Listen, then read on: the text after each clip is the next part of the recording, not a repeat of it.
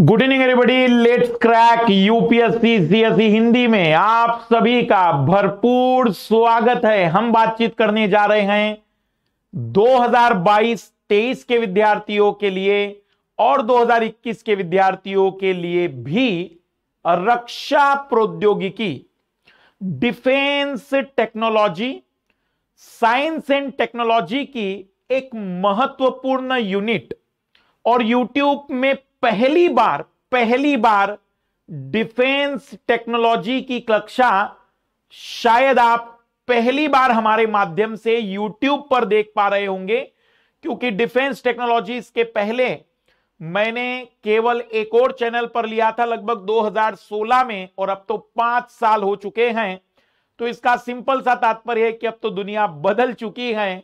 तो आइए शुभारंभ करते हैं डिफेंस टेक्नोलॉजी का संक्षिप्त में कुछ छोटी जानकारियों के साथ। सबसे पहले तो एग्ज़ाम रस एक्सक्लूसिव चैनल है, इसे भी आप ज्वाइन कर दीजिए। सब्सक्राइब नहीं किया है तो सब्सक्राइब कर दीजिएगा। और इस समय आप अपनी तैयारी को बेहतर कर सकते हैं, बेस्ट कर सकते हैं। भारत के सौ से ज़्यादा बेहतरीन एजुकेटर के साथ। यूपीएससी सिविल सर्विस एग्ज़ाम में सब्सक्रिप्शन अगर आप इस समय लेते हैं तो फोर इन वन का ऑफ़र है, प्रिंटेड नोट्स आपको मिलते हैं, मेगा सब्सक्रिप्शन ऑफ़र मिलता है। अपने किसी भी प्रकार की आर्थिक प्रॉब्लम के लिए दो विकल्प है, लोन की सुविधा भी है आपके पास, और स्कॉलरशिप टेस्ट भी है। यदि आप आइकॉनिक सब्सक्रिप्शन इस समय ले रहे हैं, और यदि आप ऑप्शनल का, ज्योग्राफी का प्लानिंग कर रहे हैं तो ज्योग्राफी ऑप्शनल की क्लास 10 जून से हम स्टार्ट कर रहे हैं। उस क्लास को भी आप ज्वाइन कर सकते हैं। इंडिया बेस्ट प्रोग्राम जो इस समय आइकॉनिक है, बेहतरीन मेंटर्स आपको अवेलेबल होंगे, जो आपको 100 स्टूडेंट्स की बेच बन रही है आइकॉनिक में, जिसमें केवल 20 सीटें बची हैं। 12 मई से कई सारे बैच स्टार्ट किए जा चुके हैं। सब्सक्रिप्शन के साथ साथ यदि मान लीजिए आपको स्कॉलरशिप टेस्ट से जुड़ना है तो हर रविवार को आप कॉम्बेक टेस्ट के माध्यम से भी अपने सब्सक्रिप्शन की फ़ीस को कम कर सकते हैं। सात जून को जी हाँ सात जून को फाउंडेशन कोर्स 2022 और 10 जून को ज्योग्राफी ऑप्शनल का बैच स्टार्ट हो रहा है जिसके साथ अपने 2021, 22 और 23 की प्लानिंग आप कर सकते हैं। एम के लाइव रिफर कोड यूज़ करते चलिए। आज हम क्या क्या कवर करेंगे? तो आज हम कवर करेंगे सबसे पहले थल सेना। परिचय। परिचय के बाद थल सेना वायुसेना नौसेना मिसाइलें कितने प्रकार की भारत में हैं? भारत का परमाणु कार्यक्रम, वैश्विक निशस्त्रीकरण की जितनी भी संधियाँ हैं, वैश्विक निशस्त्रीकरण की संधियाँ, भारत के रक्षा क्षेत्र में एफडीआई करंट अफेयर और नवीन शब्दावली। डिफेंस टेक्नोलॉजी का मतलब होगा, सबसे पहले तो हम परिचय पर बातचीत करेंगे। हमारे देश में सेना के तीन हिस्से हैं। चौथी सेना की बात चल रही है, जो डिजिटल आर्मी बनेगी, जो हमें साइबर सुरक्षाओं से मदद करेगी रक्षा करने में। लेकिन अभी हमारे देश की तीन सेनाएँ हैं। थल सेना वायुसेना नौसेना मिसाइलों का वर्गीकरण, भारत में परमाणु कार्यक्रम वैश्विक निशस्त्रीकरण की कितनी संधियाँ हैं? भारत में रक्षा क्षेत्र में एफडीआई, करंट अफेयर और नवीन शब्दावली। सभी लोग जरा ध्यान से देखते चलिएगा, डिफेंस टेक्नोलॉजी का जनरली मटेरियल। आप लोगों को मैं बता दूँ कि कहीं पर भी किसी भी किताब में बिल्कुल अप टू डेट और एक जगह पर नहीं मिलेगा। इसलिए आज की कक्षा का जो पीडीएफ होगा या आज की कक्षा का जो कंटेंट होगा, इसे आप लोगों को बढ़िया से संभाल के रखना है। यह आपका स्टैटिक पूरा पोर्शन कवर कर देगा। और जैसे जैसे लाल लालियो करंट अफेयर की बात आएगी तो इसमें आप करंट अफेयर को जोड़ते चलेंगे। जो 2022-23 के विद्यार्थी हैं साइंस टेक्नोलॉजी में पहली यूनिट वो कवर करेंगे डिफेंस टेक्नोलॉजी रक्षा प्रौद्योगिकी को। तो जिन लाल लालियों का 2022-23 का लक्ष्य है, जिन लाल लालियों का 2021 का लक्ष्य है, ये डिफेंस टेक्नोलॉजी बिल्कुल ए टू जेड फर्श से लेकर अर्श का सिलेबस हम कवर कर रहे हैं। शुरू से शुरू करते हुए अंतिम स्तर तक की बात हम इसमें करेंगे। सारे पहलुओं को एक ही कक्षा में कवर करने का प्रयास करेंगे। तो आइए शुभारंभ करते हैं आज के इस महायुद्ध का सबसे पहले परिचय भूमिका भारत सरकार भारत के प्रत्येक भाग की सुरक्षा सुनिश्चित करने के लिए उत्तरदायी है। भारतीय शस्त्र सेनाओं की सर्वोच्च कमान भारत के राष्ट्रपति के पास होती है। तो हमारे सेनाओं का प्रमुख या सर्वोच्च राष्ट्रपति होता है राष्ट्र की रक्षा का दायित्व केंद्रीय मंत्रिमंडल के पास होता है और केंद्रीय मंत्रिमंडल में इसका निर्वहन रक्षा मंत्रालय के माध्यम से किया जाता है। तो राष्ट्रपति हमारे तीनों सेनाओं का प्रमुख होगा और राष्ट्रपति जो कार्यपालिका का भी प्रमुख है तो कार्यपालिका में रक्षा मंत्रालय, डिफेंस मिनिस्टर और बहुत ही महत्वपूर्ण मंत्रालय है ये। जो कैबिनेट होता है, कैबिनेट का हमेशा ही रक्षा मंत्रालय का जो भी मंत्री होगा, वो सदस्य माना जाता है। रक्षा मंत्रालय, गृह मंत्रालय, विदेश मंत्रालय, कृषि मंत्रालय, रेल मंत्रालय, ये कुछ प्रमुख मंत्रालय होते हैं। तो डिफेंस का भी अपने आप में एक बहुत ही अलग महत्व माना जाता है। उल्लेखनीय कि रक्षा मंत्रालय केवल केंद्रीय स्तर पर होता है राज्यों के संदर्भ में इस प्रकार का कोई मंत्रालय नहीं होता, क्योंकि इसकी पूरी ज़िम्मेदारी केंद्र सरकार की है तो किसी भी राज्य में कोई डिफेंस मिनिस्ट्री नहीं होती है। हर राज्य के सुरक्षा का दायित्व भी केंद्र सरकार के पास है। ये एक्सक्लूसिवली केवल केंद्र सरकार का ही ज़िम्मेदारी मानी जाती है। रक्षा मंत्रालय सशस्त्र बलों को देश की रक्षा के संदर्भ में उनके दायित्व के निर्वहन के लिए नीतिगत रूपरेखा प्रदान करता है। हमारे भारतीय सेना का प्राथमिक उद्देश्य है राष्ट्रीय सुरक्षा मतलब हमारे देश की पूरी तरह से सीमाओं की रक्षा करना, राष्ट्र की एकता को सुनिश्चित करना, राष्ट्र पर बाहरी आक्रमण और आंतरिक खतरों से भी बचाना, सीमाओं पर शांति और सुरक्षा को बनाए रखना। हमारी भारतीय शस्त्र सेना के तीन हिस्से हैं एक है थल सेना, एक है वायु सेना और एक है नौसेना लेकिन जब भी हम भारतीय सेना की बात करते हैं तो वह थल सेना ही मानी जाती है, क्योंकि जनरली युद्ध में पहली पंक्ति का, पहली पंक्ति इन्हीं की मानी जाती है थल सेना की। इसीलिए जब भी हम भारतीय सेना कहते हैं तो हमारे दिमाग में थल सेना आती है, वायु सेना और नौसेना जनरली हमारे दिमाग में बाद में आएगी, लेकिन पहली हमेशा थल सेना आती है क्योंकि हमारे सेना की पहली पंक्ति थल सेना ही होती है। भारतीय थल सेना के प्रशासनिक और सामरिक कार्य संचालन का नियंत्रण थल सेना अध्यक्ष करता है और भारतीय सेना को अधिकतर थल सेना ही समझा जाता है। यह ठीक भी है क्योंकि रक्षा पंक्ति में थल सेना का ही प्रथम और प्रधान स्थान है। जैसे किसे वैसा समझिएगा। भाई, जैसे गरीब बच्चा होता है, जिसने अपनी ज़िंदगी में ज़्यादा टाइप के बिस्किट नहीं देखे होते तो बिस्किट का मतलब पार्ले जी समझता है। तो कुछ ऐसी बात है कि हम जब सेना की बात करते हैं तो सेना का संबंध थल सेना से लिया जाता है, लेकिन सेना का मतलब होता है थल सेना वायुसेना और नौसेना हम कह सकते हैं कि मिलिट्री एयरफोर्स और नेवी। अगर हम बात करें थल सेना की तो थल सेना अध्यक्ष, थल सेना का सबसे प्रमुख पद माना जाता है। जरा ध्यान से देखते चलिएगा। धन्यवाद। इधर ध्यान देना अभी। थल सेना की छह कमान है। थल सेना की छह कमान है। पश्चिमी कमान शिमला में है।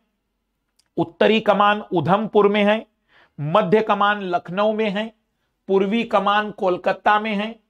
दक्षिणी कमान पुणे में है और दक्षिण पश्चिमी कमान जयपुर में है। मैं इसे याद रखने का तरीका बता दे रहा हूँ।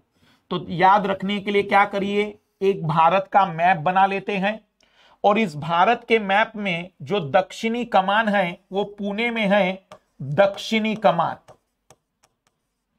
दक्षिणी कमान पुणे में है, पूर्वी कमान कोलकाता में है, पूर्वी कमान कोलकाता में है पश्चिमी जो कमान है, पश्चिमी कमान रियल में शिमला में है, शिमला में है, पश्चिमी कमान शिमला में है, भले ही वो शिमला पश्चिम में ना हो, उत्तरी कमान उधमपुर में है, उधमपुर में है, जैसे कि बड़ी बड़ी शाखाएँ मान के चलिएगा तो उत्तरी कमान उधमपुर में है तो उत्तर उधमपुर, दक्षिण पुणे, पूर्व कोलकाता, पश्चिम शिमला, पर इसके अलावा दो और कमान है एक तो मध्य कमान है लखनऊ में, एक मध्य कमान है लखनऊ में, उत्तर प्रदेश की राजधानी, और दक्षिण पश्चिमी कमान है, एक दक्षिण पश्चिमी कमान जिसे हम कह सकते हैं कि दक्षिण पश्चिमी कमान, हम कहेंगे कि जयपुर में है, राजस्थान की राजधानी।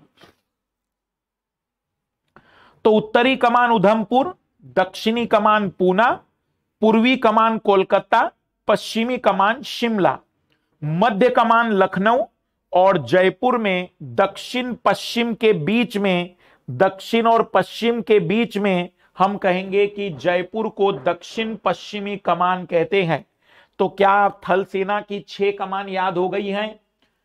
ऊपर उधमपुर, जम्मू में, महाराष्ट्र में पूना, कोलकाता, शिमला, लखनऊ दक्षिण पश्चिम जयपुर रटी होनी चाहिए, कोई दिक्कत नहीं आनी चाहिए। उधमपुर, पुणे।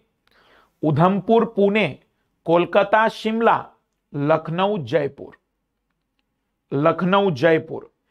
छह कमान है, छह कमान है। अब भारत में एक नया पद आ गया है। एक्चुअली पहले तीनों सेनाओं में कोऑर्डिनेशन नहीं होता था तो तीनों सेनाओं में कोऑर्डिनेशन को मज़बूत करने के लिए तीनों सेनाओं के बीच में कम्युनिकेशन को बेहतर करने के लिए chief of defence staff CDS का पद भारत में बनाया गया है। 2019 में केंद्रीय मंत्रिमंडल में, मंडल ने देश में उच्च रक्षा प्रबंधन में chief of defence staff CDS के पद के सृजन को मंजूरी दे दी है। यह भारत की जल, थल, वायु सेना के एकीकरण में महत्वपूर्ण भूमिका निभाता है। और आपस में उनके संपर्क को स्थापित करता है। सीडीएस का गठन रक्षा मंत्रालय के तहत किया गया है। वह उसके सचिव के रूप में कार्य करता है। जनरल बिपिन रावत देश के पहले चीफ ऑफ़ डिफेंस स्टाफ नियुक्त किए गए हैं। जनरल बिपिन रावत, जनरल बिपिन रावत, हमारे थल सेना में सबसे, जैसे कि हमारे इसमें प्रशासन में, आप लोगों ने, पुलिस वालों में सुना होगा कि सब इंस्पेक्टर, फिर इंस्पेक्टर, फिर इसी टाइप से हायर की होती है। एसएचओ फिर हम कह सकते हैं कि डीएसपी फिर एसपी या एडिशनल एसपी फिर एसपी ऐसे कई पद होते हैं। तो वैसे हमारे थल सेना में लेफ्टिनेंट, वैसे हवलदार, सुबेदार वो भी होते हैं, लेकिन थोड़ा सब इंस्पेक्टर लेवल से अगर हम शुरुआत करें या अगर हम बात करें तो लेफ्टिनेंट फिर कैप्टन, जैसे कैप्टन को कई लोग बहुत बड़ा पद समझते हैं, लेकिन रियलिटी में रियलिटी में याद रखिएगा कि लेफ्टिनेंट कर्नल और कर्नल जैसे पद एसपी के बराबर के हैं। कर्नल जैसा पद एसपी के बराबर का है। पर क्या होता है कि हम लोगों ने सेना के बारे में जितना सुना है तो कई लोगों को ऐसा लगता होगा कि जो सेना का कैप्टन है मतलब इधर एसपी के बराबर होगा तो नहीं। एसपी पद प्रशासनिक में जितना ताकतवर है, जितनी शक्तिशाली पद है, उतनी बात कर्नल और लेफ्टिनेंट कर्नल के पद की आती है।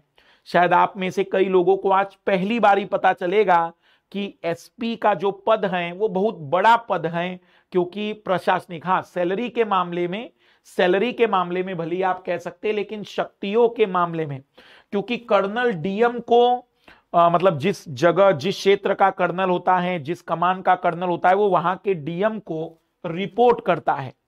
तो कर्नल डीएम को रिपोर्ट कर रहा है तो जनरली वो एसपी के बराबर का पद माना जाता है। तो लेफ्टिनेंट लेफ्टिनेंट से बनते हैं कैप्टन कैप्टन से बनते हैं मेजर मेजर से बनते हैं lieutenant colonel colonel lieutenant colonel से कर्नल फिर ब्रिगेडियर फिर मेजर जनरल फिर लेफ्टिनेंट जनरल फिर जनरल और फ़ील्ड मार्शल। लेकिन अब फ़ील्ड मार्शल का जो पद था मतलब जो ओहदा था, हमारे भारत में नहीं है। फ़ील्ड मार्शल रैंक सेना में सर्वोच्च पद होता था, जिसे समाप्त कर दिया गया है। तो वर्तमान में जनरल भारत की सेना का सर्वोच्च रैंक है और लेफ्टिनेंट जनरल भारतीय सेना में दूसरा सर्वोच्च रैंक है। तो सीडीएस सीडीएस के अंडर में जो थल सेना अध्यक्ष, जिसे हम कह रहे हैं, वो जनरल कहलाएगा, जनरल। नहीं तो पहले फ़ील्ड मार्शल, उससे भी बड़ा पद होता था फ़ील्ड मार्शल। तो जनरल अब बड़ा पद है, जनरल बड़ा पद है।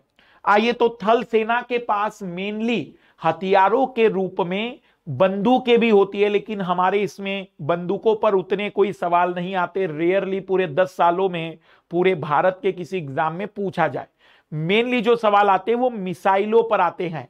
थल सेना वायुसेना और नौसेना के पास कई प्रकार की मिसाइलें। पहले तो इन मिसाइलों को देखते हैं तो थल सेना हम इसी के साथ खत्म कर देंगे। फिर वायुसेना आएगी तो वायुसेना में लड़ाकू विमान, हेलीकॉप्टर और ड्रोन के बारे में पढ़ना है। नौसेना में हमें युद्ध विमान वाहक पोत और पंडुबियों के बारे में पढ़ना है। तो सबसे पहले थल सेना में हम मिसाइलों पर चर्चा कर रहे हैं, क्योंकि मेनली थल सेना को ही सेना की मुख्य पंक्ति माना जाता है। तो आइए लाल लालियो जानने की कोशिश करते हैं थल सेना के बारे में। मतलब मिसाइलों के बारे में। मिसाइलों का वर्गीकरण कई आधार पर किया जाता है। मार्ग के आधार पर, मारक दूरी के आधार पर, प्रक्षेपण और लक्ष्य के आधार पर और गति के आधार पर।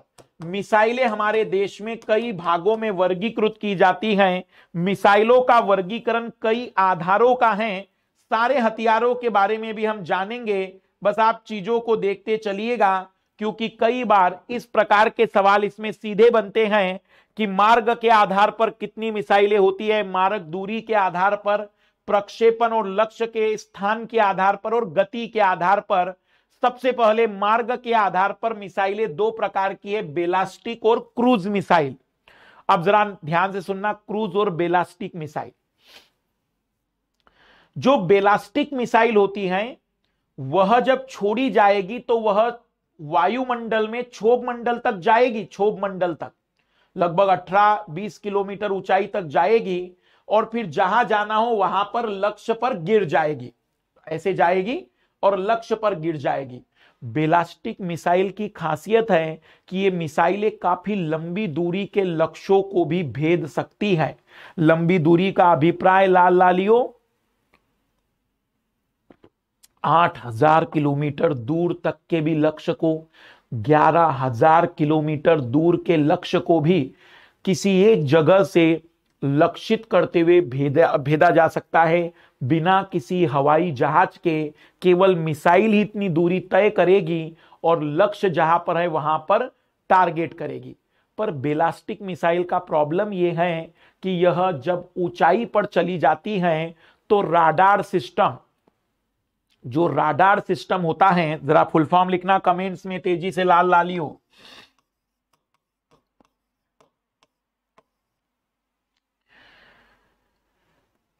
देखे जरा राडार कितने लोगों ने थोड़ा बहुत भी पढ़ाई की है। राडार सिस्टम में डिटेक्ट हो जाती है। सोनार सिस्टम होता है जैसे पानी के लिए। वैसे सोनार सिस्टम का बता देता हूँ मैं sound navigation and ranging sound navigation and ranging. Sound navigation and ranging की बात आती है तो वैसे ही राडार के लिए क्या यूज़ करते हैं? रेडियो डिटेक्शन एंड रेंजिंग, बहुत ही बढ़िया R B Kalmadi. Radio detection and ranging, radio detection and ranging. तो ये जो राडार होते हैं ना, दुश्मन उस राडार से इसको डिटेक्ट कर देता है और हवा में खत्म कर सकता है। तो बेलास्टिक मिसाइल का प्लस पॉइंट है, लंबी दूरी। माइनस पॉइंट है कि राडार से डिटेक्ट होता है। तो बेलास्टिक मिसाइल को अगर आप देखना चाहे चित्र के रूप में तो ऐसी चलती है ये। ये बेलास्टिक मिसाइल है। और जो क्रूज मिसाइल होती हैं, वह क्रूज मिसाइल बिल्कुल सतह के साथ चिपकती हुई चलती हैं। तो क्रूज मिसाइल का जो प्लस पॉइंट है, जो क्रूज मिसाइल का प्लस पॉइंट है कि इसे राडार डिटेक्ट नहीं कर सकता है, इसे राडार डिटेक्ट नहीं कर सकता है। हाँ लेकिन जो सबसे बड़ा निगेटिव पॉइंट है कि आप इससे लंबी दूरी की बात नहीं कर सकते, क्योंकि फिर लंबी दूरी के लिए पूरा मैदानी भाग होना चाहिए। पठार पर्वत नहीं आने चाहिए, क्योंकि ये बिल्कुल सतह के पैरल चलती हुई जाती हैं और इसे कहते हैं भूलो, दागो और भूलो। दागो और भूलो, क्योंकि इसका मतलब न केवल निशाना अचूक होता है, बल्कि ये राडार के द्वारा डिटेक्ट नहीं होती है तो लक्ष्य को भेद कर आती है। लेकिन ड्रॉबैक क्या है? यह ज़्यादा लंबी दूरी की नहीं बनाई जा सकती, क्योंकि यह सतह के पैरल चलती है। तो बेलास्टिक लंबी दूरी की और परवलयकार पथ होता है राडार से डिटेक्ट हो जाती है। क्रूज मिसाइल राडार से डिटेक्ट नहीं होती है। दागो और भूलो मिसाइल कहलाती हैं, लेकिन लंबी दूरी की मारक क्षमता नहीं होती है। ऐसी मिसाइलें जो वर्टिकल गमन करते हुए वायुमंडल को पार कर जाती है और लक्ष्य के ऊपर पहुँचने के बाद गुरुत्वीय बल से नीचे गिरती है। बेलास्टिक मिसाइल की सबसे बड़ी समस्या है कि वह दुश्मन के राडार से पहचान कर ली जाती है और रास्ते में समाप्त की जा सकती है। लेकिन बेलास्टिक मिसाइलें लंबी दूरी तक मारक क्षमता रखती हैं। भारत की अधिकतर मिसाइलें बेलास्टिक प्रकार की हैं। इस प्रकार से आप वैसे लोगों ने देखा होगा हमारे देश में एक मूवी है तिरंगा। उस तिरंगा मूवी को में पहली बार मिसाइलों को दिखाया गया था। ऐसा मुझे नहीं लगता कोई भारतीय होगा जिसने तिरंगा मूवी ना देखी हो। क्रूज मिसाइलें, ऐसी मिसाइलें जो भूमि के समानांतर गति करती हैं तथा दुश्मन के रडार द्वारा नहीं पहचानी जाती, लेकिन ऐसी मिसाइलें लंबी दूरी की मारक क्षमता नहीं रखती है। तो क्रूज मिसाइलों की खासियत है दागो और भूलो, लेकिन क्रूज मिसाइल लंबी दूरी की मारक क्षमता नहीं रखती है।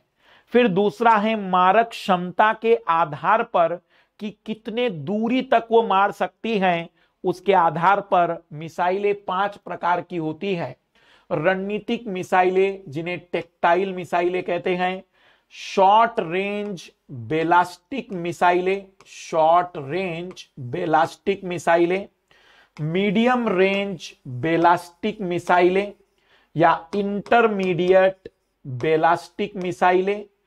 लॉन्ग रेंज बेलास्टिक मिसाइल और इंटरकॉन्टिनेंटल बेलास्टिक मिसाइल तो अगर हम बात करें तो मारक क्षमता मतलब जनरली लंबी दूरी की मारक क्षमता तो बेलास्टिक मिसाइलों की होगी, इसलिए ये पूरा वर्गीकरण बेलास्टिक मिसाइलों का है। बाकी टेक्टिक मिसाइलों में बेलास्टिक भी आती हैं और टेक्टिक मिसाइलों में क्रूज मिसाइल भी आती है, लेकिन टेक्टिक मिसाइलों में मुख्य रूप से क्रूज मिसाइल आएगी, जिनकी मारक क्षमता ज़्यादा से ज़्यादा 300 किलोमीटर तक रहेगी। मतलब यदि टेक्टिक मिसाइल का हमें उपयोग करना है मेरे लाल लालियो तो जहाँ सीमावर्ती क्षेत्र होगा, जो भारत का सीमावर्ती क्षेत्र होगा, उस सीमावर्ती क्षेत्र पर हमें रणनीतिक मिसाइलें लगानी पड़ेगी। लेकिन बेलास्टिक मिसाइलें हम भारत के किसी भी जगह से दाग सकते हैं और कहीं पर भी, कहीं से भी हमला करने के लिए भेज सकते हैं, क्योंकि बेलास्टिक मिसाइलों की रेंज काफ़ी लंबी होती है। तो जो टेक्टिक मिसाइलें होती है, वो जनरली युद्ध वाले क्षेत्र में काम करती है। टेक्टिक मिसाइलें या स्ट्रैटेजिक मिसाइलें भी कहते हैं। ऐसी मिसाइलें जिनकी मारक क्षमता 300 किलोमीटर या इससे कम होती हैं, रणनीतिक मिसाइलें कहलाती हैं। इनका उपयोग करने के लिए इन्हें युद्ध स्थल तक लाना पड़ता है। लघु दूरी की बेलास्टिक मिसाइलें शॉर्ट रेंज बेलास्टिक मिसाइल ऐसी मिसाइलें जिनकी मारक क्षमता 300 से हज़ार किलोमीटर तक होती हैं। भारत की अग्नि, शौर्य और पृथ्वी तीन, पृथ्वी दो मिसाइलें इसमें रखी जाती हैं। तो भारत की अग्नि शौर्य मिसाइल इस प्रकार की मिसाइल है जो 300 से हज़ार किलोमीटर तक की मारक क्षमता रखती है। मध्यम दूरी की ballistic missile, middle range ballistic missile हज़ार से साढ़े तीन हज़ार किलोमीटर, जैसे अग्नि दो, अग्नि तीन। फिर है लंबी दूरी की बेलास्टिक मिसाइल जिसे LRBM, long range ballistic missile या इंटरमीडिएट इंटरमीडिएट बेलास्टिक मिसाइल कहते हैं। ऐसी मिसाइल जिनकी मारक क्षमता साढ़े तीन हज़ार से पाँच हज़ार पाँच सौ किलोमीटर तक होती है। अग्नि चार। इंटर कॉन्टिनेंटल बेलास्टिक मिसाइल, ऐसी मिसाइल जिनकी मारक क्षमता पाँच हज़ार पाँच सौ किलोमीटर से अधिक होती है, उन्हें intercontinental intercontinental ballistic missile कहते हैं, जैसे भारत की अग्नि पाँच और अग्नि छह यहाँ एक छोटा सा झगड़े वाला बिंदु बता रहा हूँ। एक्चुअली अंतरराष्ट्रीय परिभाषा कहती है कि अगर किसी मिसाइल की रेंज 5500 किलोमीटर है तो ही वह इंटर कॉन्टिनेंटल बेलास्टिक मिसाइल है, या इससे ज़्यादा है। भारत की जो अग्नि पाँच है ना मेरे लाल लालियो अग्नि पाँच जो है इसकी रेंज पाँच हज़ार किलोमीटर की है। तो रियल में आईसीबीएम के अंतर्गत ये नहीं आनी चाहिए। ये आनी चाहिए थी लॉन्ग रेंज बेलास्टिक मिसाइलों में, पर ये इंटर कॉन्टिनेंटल बेलास्टिक मिसाइल में नहीं आनी चाहिए थी। लेकिन हमारे देश के रक्षा मंत्रालय ने डिफेंस मिनिस्ट्री ने इस मिसाइल को इंटर कॉन्टिनेंटल बेलास्टिक मिसाइल घोषित किया है। इसलिए अगर आपसे पूछा जाए कि आईसीबीएम प्रकार की कौन सी भारत की मिसाइल है तो वो अग्नि पाँच है, पर इंटरनेशनली भारत के पास अभी आईसीबीएम वाली डेवलप हो रही है अग्नि छ अंतरराष्ट्रीय स्तर पर 5500 किलोमीटर की रेंज को ही इंटर कॉन्टिनेंटल माना जाता है। लेकिन भारत में 5000 को भी हमने इंटर कॉन्टिनेंटल माना है। इसलिए अगर तुम्हारा एग्जामिनर ऑब्जेक्टिव सवाल पूछे कि भारत में आईसीबीएम प्रकार की मिसाइल कौन सी है तो अग्नि पाँच को मान लेना, जिसकी रेंज पाँच हज़ार किलोमीटर तक की है। हाँ, अग्नि छ की रेंज लगभग हम साढ़े आठ हज़ार किलोमीटर से ग्यारह हज़ार किलोमीटर कर रहे हैं तो अग्नि छ तो गारंटेड आईसीबीएम में आएगी। लेकिन अभी वो डेवलप नहीं हुई है, अग्नि पाँच डेवलप हो चुकी है। फिर प्रक्षेपण और लक्ष्य के स्थान के आधार पर सतह से सतह मार करने वाली मतलब ज़मीन से दागा और ज़मीन पर। सतह से हवा में मार करने वाली, ज़मीन से दागा और हवाई जहाज़, लड़ाकू विमान, हेलीकॉप्टर या ड्रोन को खत्म करेगी। हवा से हवा में मार करने वाली फाइटर प्लेन चला रहे हैं। आजकल हमारे देश में मीडिया कर्मी भी फाइटर प्लेन चलाते हैं तो फाइटर प्लेन जब चला रहे हैं तो फाइटर प्लेन से जो प्लेन से निकलेगी और किसी दूसरे प्लेन को खत्म करेगी तो उसे कहेंगे हवा से हवा में मार करने वाली। फिर है एंटी टैंक मिसाइल जो टैंक को खत्म करती हैं, और सबमरीन मिसाइलें जो कि पनडुब्बियों में यूज़ की जाती हैं। नौसेना के माध्यम से जो अंदर पनडुब्बिया, गाजी मूवी देखी होगी, गाजी मूवी तो जो पनडुब्बियों पर अटैक करने के लिए यूज़ की जाती, उन्हें कहते हैं सबमरीन मिसाइलें। तो सतह से सतह मार करने वाली पर आ जाते हैं। सतह से सतह मार करने वाली मिसाइल पृथ्वी और अग्नि की हैं, जो सतह से सतह पर मार करेगी। सतह से छोड़ी जाएगी और किसी सतह पर मार करेगी।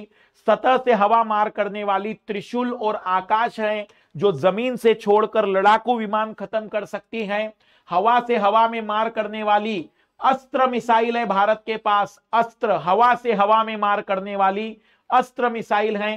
त्रिशूल और आकाश जो है वो सतह से हवा में, हवा से हवा में अस्त्र मिसाइल है। एंटी टैंक मिसाइल है भारत के पास नाग। एंटी टैंक मिसाइल है भारत के पास नाग, जो जाएगी और टैंक को खत्म करेगी। आप लोगों ने देखा होगा हमारे देश में एक मूवी बनी थी बॉर्डर।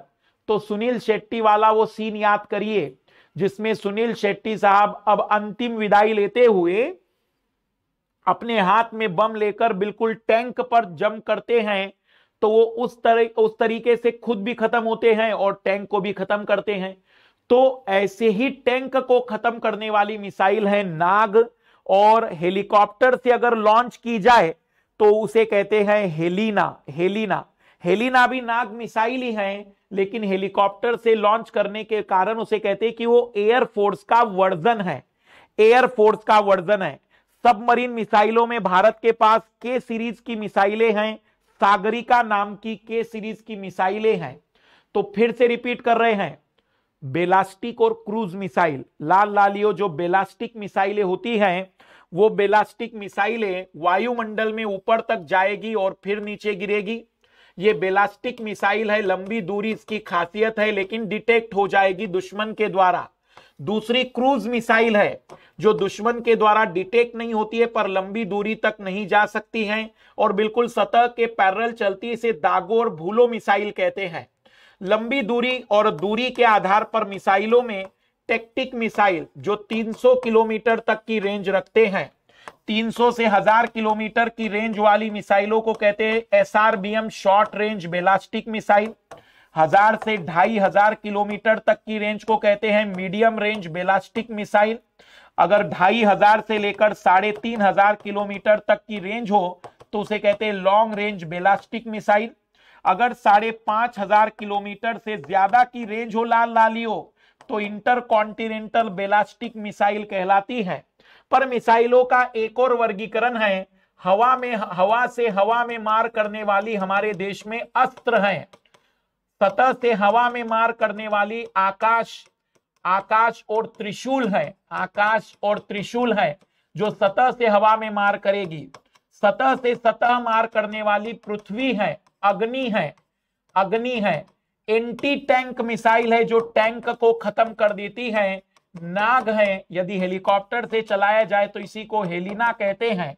और पानी के अंदर जो भी पंडुबिया होती हैं, उन्हें खत्म करने वाली मिसाइलों को कहते हैं सब मरीन मिसाइलें। सब मरीन मिसाइलें हमारे देश में के सीरीज़ की हैं। अब्दुल कलाम के नाम पर के सीरीज़ की मिसाइलों के रूप में इनका नाम रखा गया है। तो क्या सभी लाल लालियों को मिसाइलें बिल्कुल याद हो गई या नहीं? एक बार तेज़ी से कमेंट्स करिएगा। मिसाइलें याद हो चुकी हैं। मिसाइलों के बारे में क्लैरिटी आ चुकी है पूरी तरह से। बहुत ही बढ़िया। मिसाइलों के बारे में क्लैरिटी आ चुकी है। सबमरीन में के सीरीज़ प्रकार की मिसाइलों को सबमरीन मिसाइलें हमने काम, नाम दिया है। गति के आधार पर मिसाइलें तीन प्रकार की होती है लाल लालियो एक होती है सब सोनिक सब सोनिक ऐसी मिसाइलें जिनकी स्पीड एक मैक से कम होती है। सर, ये एक मैक क्या है? आइए लाल लालियो।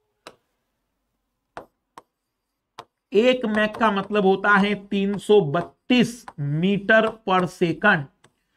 332 ही क्यों? क्योंकि ये ध्वनि की गति होती है वायु में। वायु में जो ध्वनि है, वो इतनी रफ्तार से जाती है। तो लाल लालियों यदि किसी मिसाइल की गति 332 मीटर पर सेकंड से कम है तो उसे कहते सब सोनिक क्योंकि इसे एक मैक कहते तो एक मैक से कम वाले को कहते हैं सब सोनिक और सोचिए कि कोई मिसाइल की रफ्तार इतनी हो कि मिसाइल की आवाज़ तुम तक पहुँचे, उसके पहले मिसाइल पहुँच जाए तो उसे कहते हैं सुपर सोनिक मिसाइल की आवाज़ तुम तक पहुँचे उससे पहले मिसाइल पहुँच जाए तो उसे कहते हैं लाल लालियो सुपर सोनिक उसे कहते हैं सुपर सोनिक मिसाइल, जिनकी रफ्तार एक मैक या उससे अधिक होती है मतलब 332 मीटर पर सेकंड या उससे ज़्यादा। लेकिन अगर किसी मिसाइल की गति पाँच मैक या उससे ज़्यादा हो जाए तो अब उसे कहते हैं हाइपरसोनिक मिसाइल।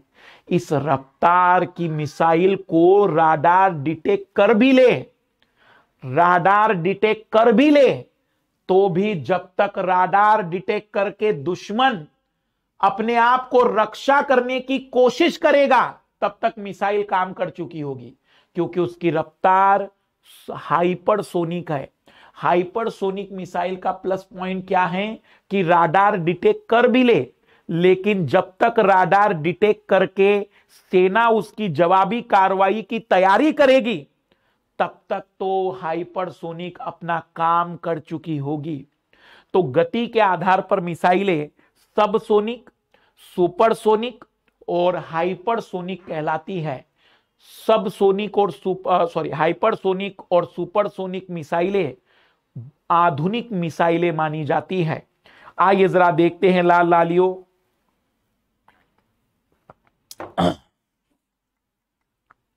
भारत में जो मिसाइलों को डेवलप करने वाली संस्था है या भारत में जो रक्षा पर पूरी तरह से रिसर्च करने वाली संस्था है, वो है डीआरडीओ रक्षा अनुसंधान एवं विकास संगठन, defence research and development organisation defence research and development organisation, ministry of defence के अंतर्गत डीआरडीओ। भारत सरकार के रक्षा मंत्रालय के प्रशासनिक नियंत्रण के अधीन है। उन्नीस सौ अट्ठावन में इसका निर्माण किया गया था। यह भारत में वैसे ही काम करती है, जैसे अंतरिक्ष के लिए इसरो काम करती है, वैसे रक्षा के लिए डीआरडीओ काम करती है। पर इसके अलावा ये कई और जगह काम करती है। हमारे रेलवे में जो बायो टॉयलेट बनाए गए हैं, वो डीआरडीओ की देन है और जो सफ़ेद दाग की बीमारी होती है, उस ल्यूकोडर्मा बीमारी के लिए ल्यूस्किन नामक दवाई भी डीआरडीओ ने बनाई है और अभी जरा कमेंट्स करना, कोविड, कोरोना के लिए भी डीआरडीओ ने एक दवाई बनाई है। क्या नाम रखा है उस दवाई का? जो कि डीआरडीओ ने कोविड की बीमारी के लिए बनाई है तो दवाइयों में भी कई जगह डीआरडीओ मदद करता है। कई सामाजिक कार्यों में भी डीआरडीओ का सीधा योगदान है, लाल लालियो डीआरडीओ तो कई काम करता है। आइए जरा देखते हैं अब भारत में मिलने वाली मिसाइलों के बारे में संक्षिप्त वर्णन। Two DG two DG two DG इसका जो नाम रखा गया है, बिल्कुल बिल्कुल। टू डीजी नाम रखा गया है। आइए जरा ध्यान से सुनिएगा। भारत में मिलने वाली मिसाइलों में सबसे पहले हम देखते हैं कि आखिर मिसाइलों की ज़रूरत क्या पड़ी। अब कहानी सुनना। भारत की आज़ादी 1947 में हुई। आज़ादी के 25 वर्ष की अगर हम बात करें तो लगभग 1971 तक की ही बात देख लो तो भारत ने तीन बार लड़ाइयाँ देखी। उन्नीस बासठ चीन के साथ 1965 पाकिस्तान के साथ 1971 बांग्लादेश की आज़ादी। बांग्लादेश की आज़ादी में भारत की भूमिका।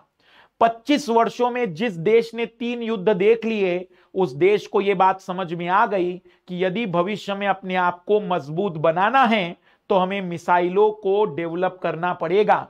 तब इंदिरा गांधी ने 1978-79 में एक प्रोग्राम लॉन्च किया जिसका नाम था integrated guided missile development programme एकीकृत निर्देशित मिसाइल विकास कार्यक्रम 1978-79 में इस कार्यक्रम की शुरुआत हुई। इस कार्यक्रम के तहत लक्ष्य रखा गया कि भारत पाँच मिसाइलों को विकसित करेगा, जिसे याद रखने की ट्रिक्स है पटना, पृथ्वी, अग्नि, त्रिशूल, नाग, आकाश।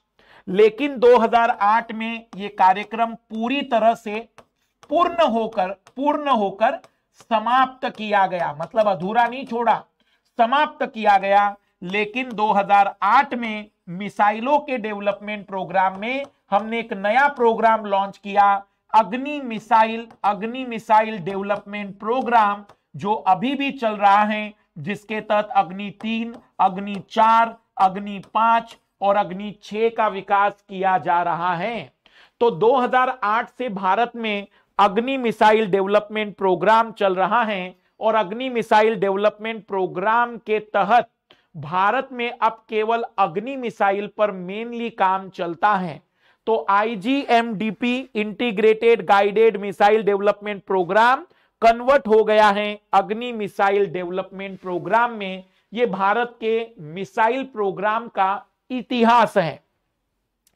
भारत की आज़ादी से 25 वर्ष के भीतर ही भारत को तीन बड़े युद्ध झेलने पड़े, जिससे भारत की रक्षा प्रणाली मज़बूत करने के लिए मिसाइल को विकसित करना पड़ा। तब 1980 में एकीकृत निर्देशित मिसाइल विकास कार्यक्रम प्रारंभ हुआ। 78-79 में लॉन्च हो गया था। पाँच मिसाइलों को विकसित करने का लक्ष्य था। The integrated guided missile development programme, Patna Prithvi Agni Trishul Nag आकाश। तो आइए 2008 में इस कार्यक्रम को समाप्त कर दिया गया, लेकिन अग्नि श्रेणी की मिसाइलों को इस कार्यक्रम से हटाकर अग्नि मिसाइल अग्नि मिसाइल विकास कार्यक्रम प्रारंभ किया गया। आइए देखते हैं सबसे पहली मिसाइल, पृथ्वी मिसाइल, जो भारत में हम मान के चलते हैं, भारत की पहली स्वदेशी मिसाइलों में शामिल है। Prithvi medium range, surface to surface मार करती हैं, सरफेस टू सरफेस मार करती हैं 300 किलोमीटर तक की रेंज है और 1000 किलोग्राम का पेइंग लोड का मतलब होता है विस्फोटक पदार्थ। एक हज़ार किलोग्राम का विस्फोटक पदार्थ ले जाने की ताकत रखता है। Medium range surface to surface 300 kilometre, इसके तीन वेरिएंट आ चुके हैं। पृथ्वी वन 150 किलोमीटर तक की रेंज रखता है। पृथ्वी टू साढ़े तीन किलोमीटर तक की रेंज रखता है। इसे वायुसेना धनुष कहती है। भाई, सतह से सतह मार कर रहे हो तो वायुसेना भी तो यूज़ कर सकती है ना। हवा से सतह पर टारगेट करेगी। सतह से हवा नहीं, हवा से सतह पर टारगेट करेगी। तो पृथ्वी दो को धनुष के नाम से भी जानते हैं वायुसेना में। वायुसेना में से धनुष के नाम से जानते हैं और पृथ्वी तीन की जो रेंज है, वो साढ़े तीन सौ से छह सौ किलोमीटर है। ये दोनों की दोनों हम कहेंगे कि टेक्टिक मिसाइल है टेक्टिक रणनीतिक मिसाइलें हैं। और ये शॉर्ट रेंज की बेलास्टिक मिसाइल में शामिल की जा सकती है। पृथ्वी वन 1988 में बनाई गई थी। 1000 किलोग्राम बारूद ले जाने में 150 किलोमीटर की रेंज पृथ्वी दो एयरफोर्स वर्जन, जिसे धनुष कहते हैं 96 में चेक किया गया। और पृथ्वी तीन नेवी वर्जन माना जाता है। पृथ्वी तीन नेवी वर्जन माना जाता है। तो पहला थल सेना, दूसरा वायु सेना और तीसरे को नौसेना वर्जन के रूप में माना जाता है। फिर दूसरी है आकाश। आकाश इंडिया की first home made supersonic air defence missile है। Akash is India first home made medium range surface to air missile that can engage multiple target from multiple direction, flying at low, medium and high attitude. तो ये आकाश मिसाइलें हैं जो भारत की घर में बनी हुई पहली सुपरसोनिक एयर डिफेंस मिसाइल मानी जाती हैं। एक साथ कई लक्ष्यों को भेजने की क्षमता है। सतह से आकाश में मार कर सकती हैं, ज़मीन से छोड़कर ऊपर तक 30 से 70 किलोमीटर की ऊंचाई पर जितने भी लड़ाकू विमान होते दुश्मन के, उनको खत्म कर सकती हैं। और एयरफोर्स और इंडियन आर्मी दोनों के लिए बनाई है। आकाश का भी निर्माण डीआरडीओ के द्वारा किया गया है। तीसरी है त्रिशूल। सभी मौसम में काम कर सकती है यह भी सतह से आकाश में मार करने की क्षमता रखती है। पर इसकी रेंज केवल 9 किलोमीटर तक की रेंज होती है और वर्तमान में इसका जनरली निर्माण नहीं होता है। केवल तब बनाया जाता है जब युद्ध जैसी स्थिति हो, तब इसका निर्माण किया जाता है। नाग, एंटी टैंक मिसाइल है नाग।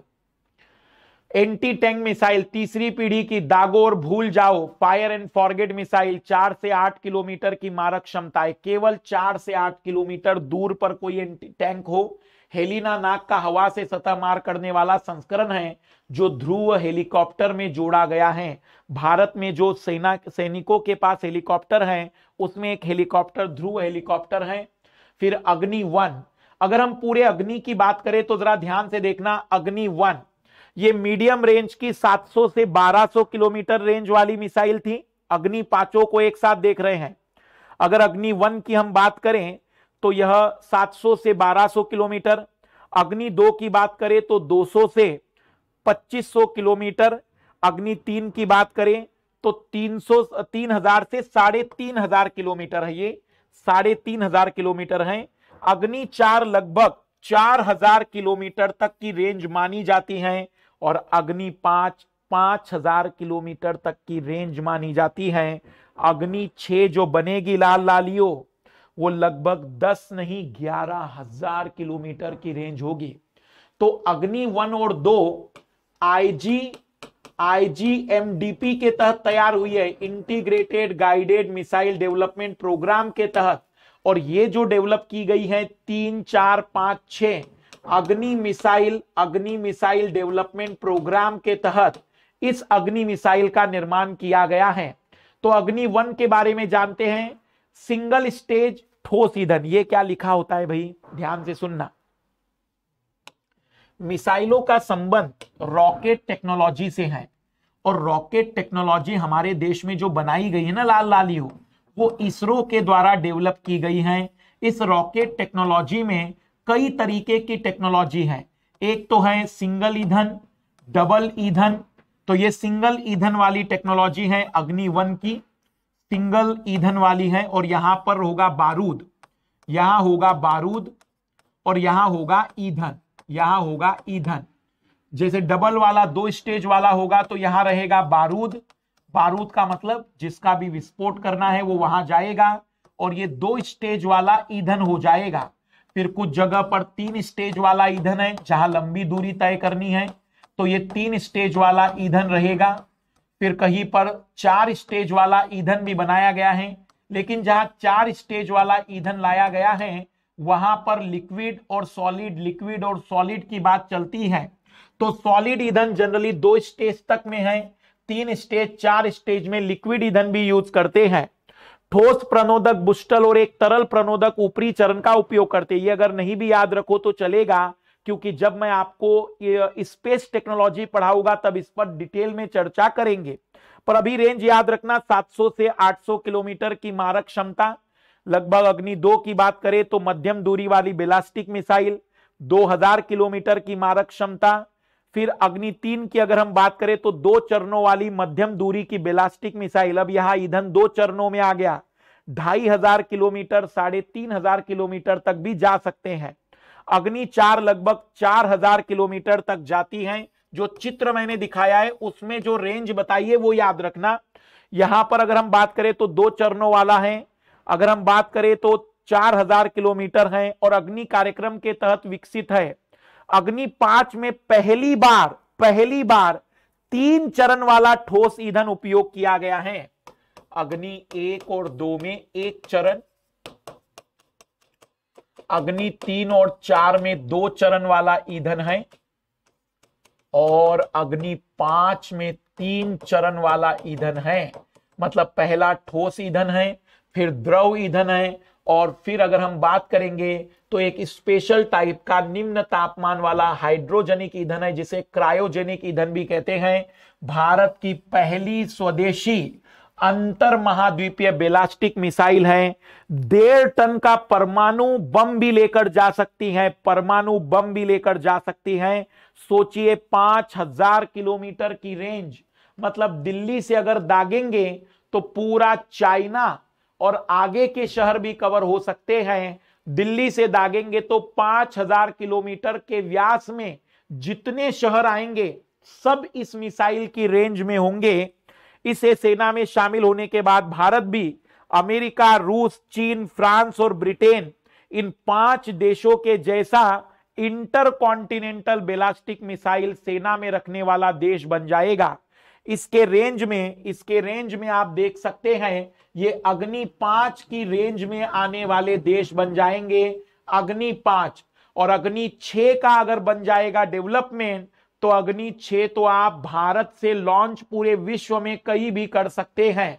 पाँच हज़ार किलोमीटर की रेंज है, सत्रह मीटर की इसकी ऊंचाई है, लगभग 1360 किलोमीटर तक का इसमें विस्फोटक होता है और ये तीन स्टेज का ईंधन होता है, तीन स्टेज का ईंधन होता है और इसे उड़ीसा के विलर द्वीप से टेस्टिंग किया गया था तो रेंज बताई गई थी कि भारत कितनी रेंज तक इसको कब्जे में ले सकता है।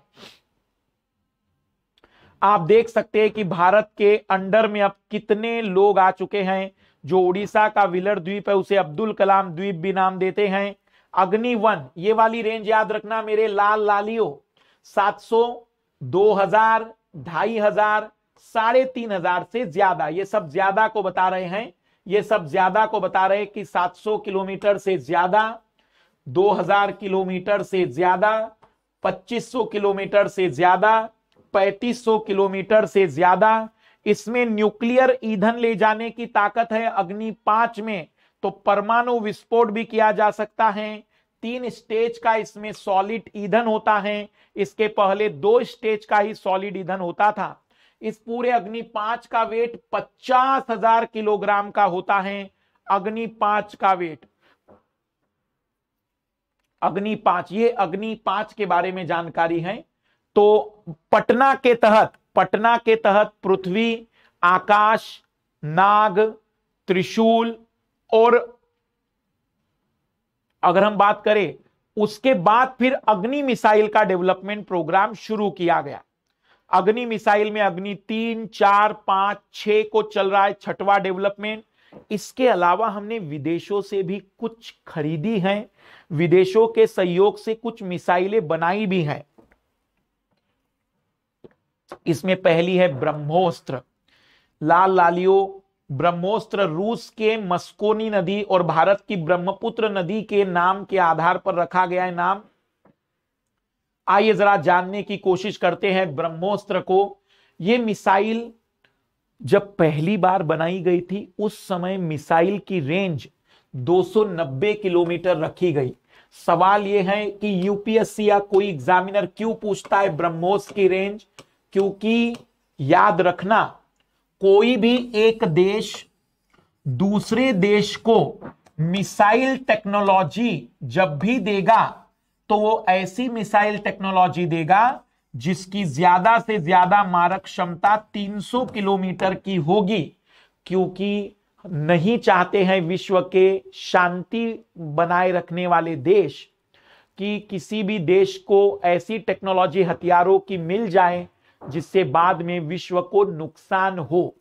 तब रूस ने जब इसको हमें पहले बनाने में मदद की तो इसकी रेंज 290 किलोमीटर रखी। लेकिन ये कहानी मैं आप लोगों को क्यों बना, बता रहा हूँ? क्योंकि उस समय कोई और देश भी हमारी मदद नहीं कर सकता था 300 किलोमीटर से ज़्यादा वाली मिसाइलों की टेक्नोलॉजी देने में। तो हमारे देश के वैज्ञानिकों ने अपने बलबूते ही उस रेंज और उस टेक्नोलॉजी को विकसित किया। लेकिन मैं इस कहानी को इसलिए बता रहा हूँ क्योंकि वर्ष 2016 में एक अद्भुत घटना हुई। एक्चुअली ये जो सभी देशों ने मिलकर कसम खाई थी कि वह जिन देशों के पास लंबी दूरी की मारक क्षमता वाली मिसाइल टेक्नोलॉजी है, वो किसी ऐसे देश को नहीं देंगे जिनके पास ऐसी टेक्नोलॉजी नहीं है। तो इस समझौते को कहते हैं MTCR missile technology control regime.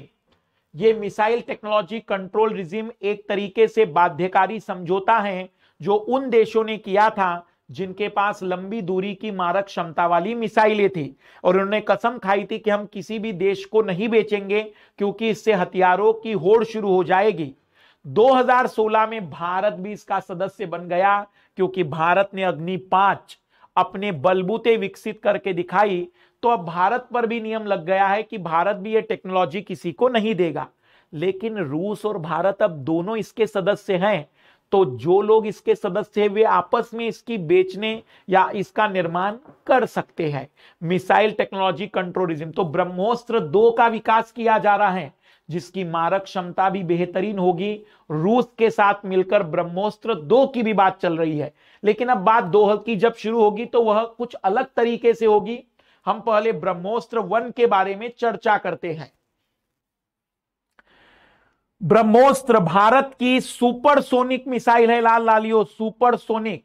ब्रह्मोस्त्र की अगर हम बात करेंगे तो यह surface to surface surface to sea में 500 किलोमीटर या एयर प्लेटफॉर्म पर 400 किलोमीटर की रेंज तक अटैक कर सकती है और नदी नाम पर रखा गया है। सुपरसोनिक क्रूज मिसाइल है दो दशमलव पाँच से दो दशमलव आठ इसकी मैक में स्पीड है। विश्व की सबसे तेज सुपरसोनिक क्रूज मिसाइलों में इसे शामिल किया जाता है। सबसे टॉप की नहीं है, लेकिन जितने टॉप है उसमें इसको भी मानते हैं। सेना में शामिल होने वाली विदेशी विदेशी सुपरसोनिक पहली क्रूज मिसाइल है। फायर एंड फॉरगेट मिसाइल भी कहते हैं। 290 किलोमीटर की रेंज थी, इसकी 90 किलोमीटर तक की रेंज थी। बाद में अब इसे बढ़ाया जा सकता है। इसकी गति और रेंज को बढ़ाने का प्रयास चल रहा है, जिसमें इसकी गति को हाइपरसोनिक गति करेंगे और 1500 किलोमीटर तक की अधिकतम रेंज पर अब ये ब्रह्मोस्त्र दो में आएगा। और क्या इसकी कहानी समझ में आई कि ब्रह्मोस्त्र दो की रेंज क्यों बढ़ाई जा सकती है?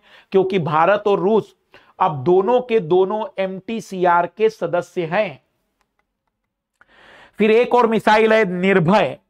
सब सोनिक मिसाइल है, निर्भय, सब सोनिक मिसाइल है। ब्रह्मोस्त्र का पूरक मानी जाती है, स्पीड कम ज़रूर है। भूमि, समुद्र, वायु तीनों जगह से लॉन्च और एक हज़ार किलोमीटर तक की पहुँच है। सब सोनिक मिसाइल मानी जाती है। के सीरीज़ की मतलब कलाम सीरीज़ की मिसाइलें हैं। अभी भारतीय नौसेना के पास कलाम की सीरीज़ की पंद्रह मिसाइलों का ग्रुप है, जिसे सागरिका कहा जाता है, जिसे सागरिका कहा जाता है, और के फोर के फाइव के सिक्स का विकास किया जाएगा साढ़े तीन हज़ार किलोमीटर। के फोर के फाइव के सिक्स अग्नि अग्नि चार, अग्नि पाँच, अग्नि छ के जैसा विकसित किया जा रहा है। के फोर के फाइव के सिक्स बिल्कुल अग्नि के रूप में ही विकसित हो रही है, लेकिन वो नौसेना का वर्जन है, और अग्नि वायु सेना के लिए विकसित की जाने वाली मिसाइलों में शामिल कहें या थल सेना के लिए किसी भी जगह से दागने के लिए। तो नौसेना के लिए के फोर के फाइव और के सिक्स की बात चल रही है। के मिसाइल समूह मुख्य रूप से पनडुब्बी द्वारा लॉन्च की जाती बेलास्टिक मिसाइलें हैं सबमरीन लॉन्च बेलास्टिक मिसाइलें हैं, जिन्हें डीआरडीओ के द्वारा स्वदेशी तरीके से विकसित हैं। इस मिसाइल समूह से संबंधित मिसाइलों का नाम doctor A ABJ Abdul Kalam के नाम पर रखा गया है। यह मिसाइलें मुख्य रूप से सबमरीन मिसाइलें हैं जो पनडुब्बियों से प्रक्षेपित की जाती है। नौसैनिक प्लेटफॉर्म द्वारा लॉन्च की जाने वाली मिसाइलों का विकास 1990 के दशक के अंत में भारत के परमाणु परीक्षण कार्यक्रम को पूरा करने की दिशा में शुरू हुआ। इस कार्यक्रम का उद्देश्य भूमि, समुद्र, वायु से परमाणु हथियार लॉन्च करने की क्षमता हासिल करना है। इन मिसाइलों को पनडुब्बियों से प्रक्षेपित किया जाता है और ये भूमि से प्रक्षेपित की जाने वाली मिसाइलों की तुलना में हल्की और छोटी होती है। भारत ने साढ़े तीन हज़ार किलोमीटर की रेंज वाली के फोर मिसाइल का सफल परीक्षण कर लिया है और अब हम के फाइव को विकसित करेंगे। बिल्कुल अग्नि पाँच के जैसे ही रहेगी। तो के फिफ्टीन सागरिका का दूसरा नाम के फिफ्टीन है, क्योंकि पंद्रह मिसाइलों का वो ग्रुप है और इसीलिए भारत के पास अभी के फिफ्टीन और के फोर मिसाइलें कंप्लीटली अवेलेबल है सबमरीन के पास।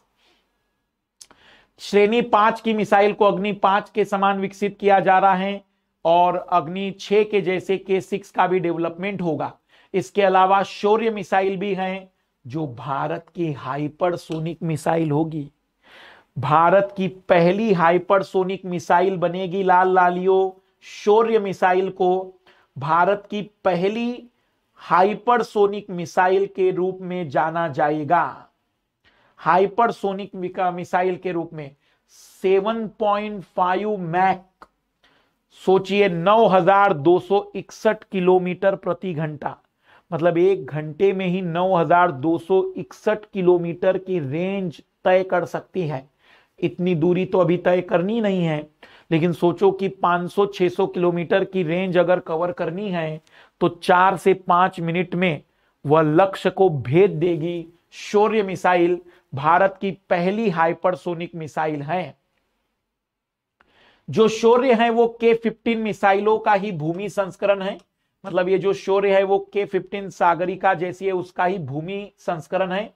2200 किलोग्राम से 1000 किलोग्राम भार ले जाने में सक्षम है। Surface to surface tactical missile है 700 किलोमीटर से 1000 किलोमीटर तक की रेंज है। शौर्य मिसाइल को ऐसे स्थान पर रखा जा सकता है जहाँ इस पर दुश्मन की नज़र नहीं पड़े। उपग्रह से ली गई तस्वीरों की मदद से भी इसका पता नहीं लगाया जा सकता। शौर्य को डिटेक्ट नहीं किया जा सकता। भारत की पहली स्वदेशी हाइपरसोनिक मिसाइल रहेगी। फिर अस्त्र, जो कि हवा से हवा में मार करती है 100 किलोमीटर तक की रेंज है। इकलौती अस्त्र है जो हवा से हवा में मार करती है, प्रहार है, कम दूरी की सामरिक बेलास्टिक मिसाइल है, डीआरडीओ के द्वारा विकसित है 200 किलोग्राम तक हथियार ले जाने में सक्षम है और दो मैक की गति है सुपरसोनिक है। राफेल में भी कुछ मिसाइलों को लिया गया है, राफेल में कुछ मिसाइलों को लिया गया है। मिका, जिसे एयर टू एयर मिसाइल कहते हैं, अस्त्र के जैसी स्कल्प क्रूज मिसाइल है जो 300 किलोमीटर तक मार सकती है, हेमर मिसाइल है और meteor air to air missile है तो मीका भी है, मीटरर भी है। अस्त्र भारत के पास पहले से थी, राफेल में हमने कुछ और मिसाइलों को भी लिया है। तो भारत के मिसाइल प्रोग्राम की अगर हम बात करें तो भारत के पास पृथ्वी, अग्नि, त्रिशूल, नाग आकाश, शौर्य, निर्भय के सीरीज़ के सीरीज़ अग्नि की तीन, चार, पाँच, छ, इस प्रकार की मिसाइलों का एक पूरा का पूरा जाल है।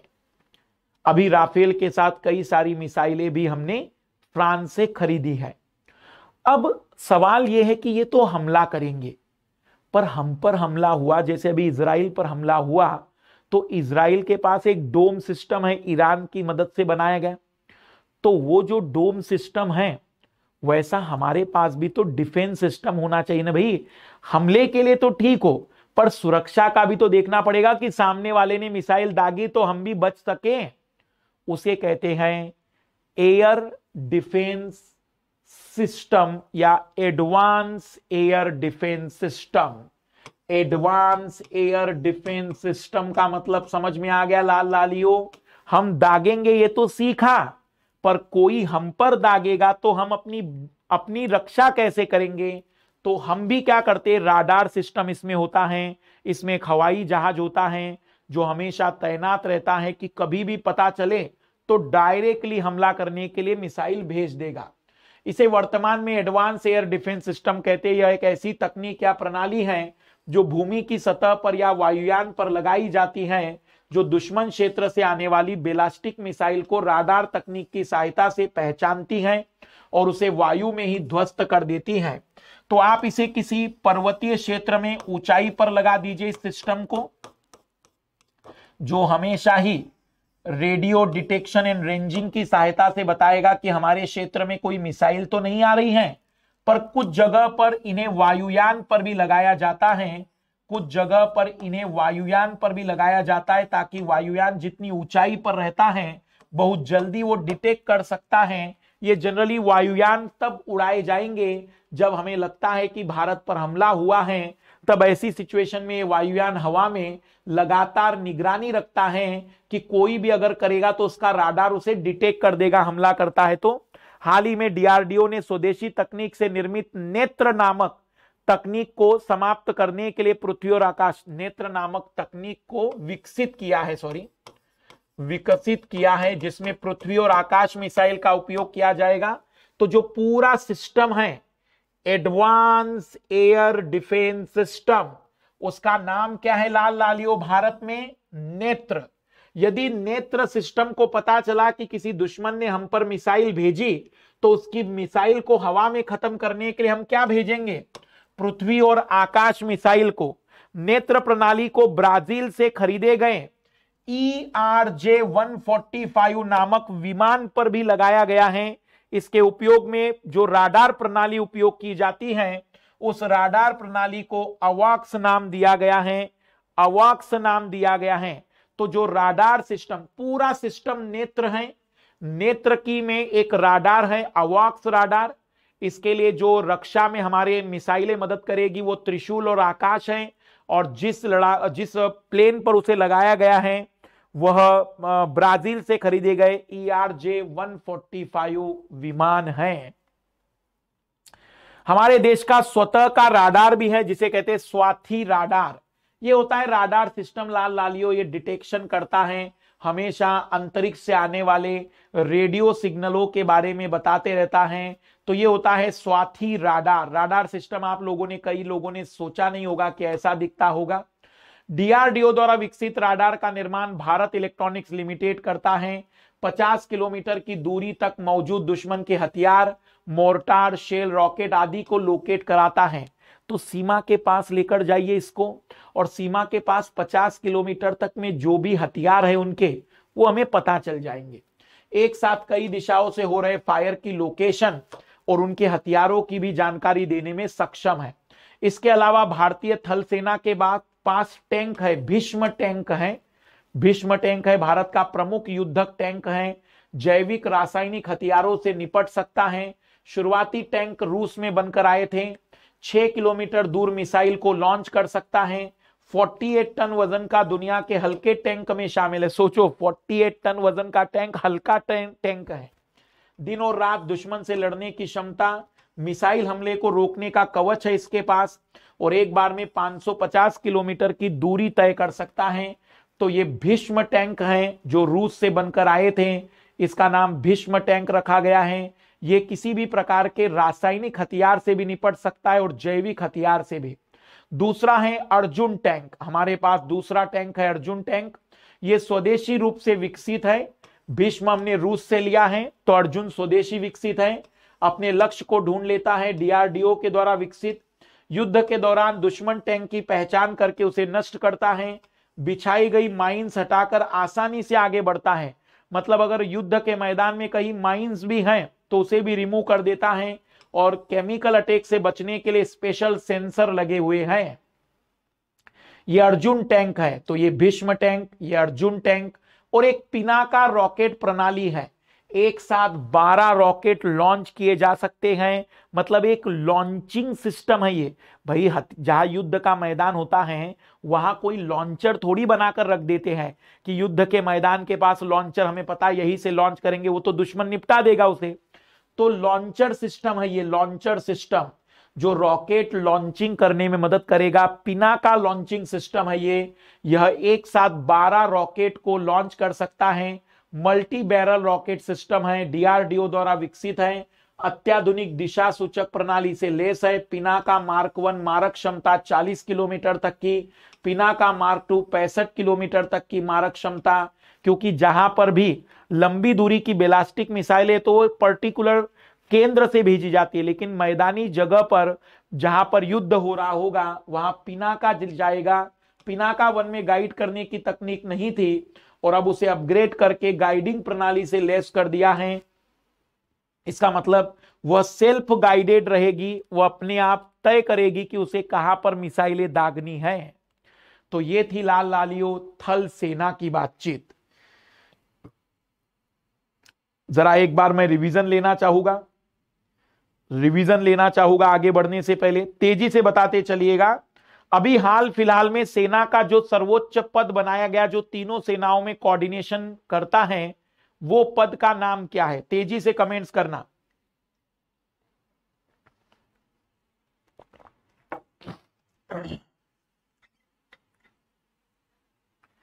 तेज़ी से कमेंट्स करिएगा। सीडीएस सीडीएस का पद, ठीक है? दूसरा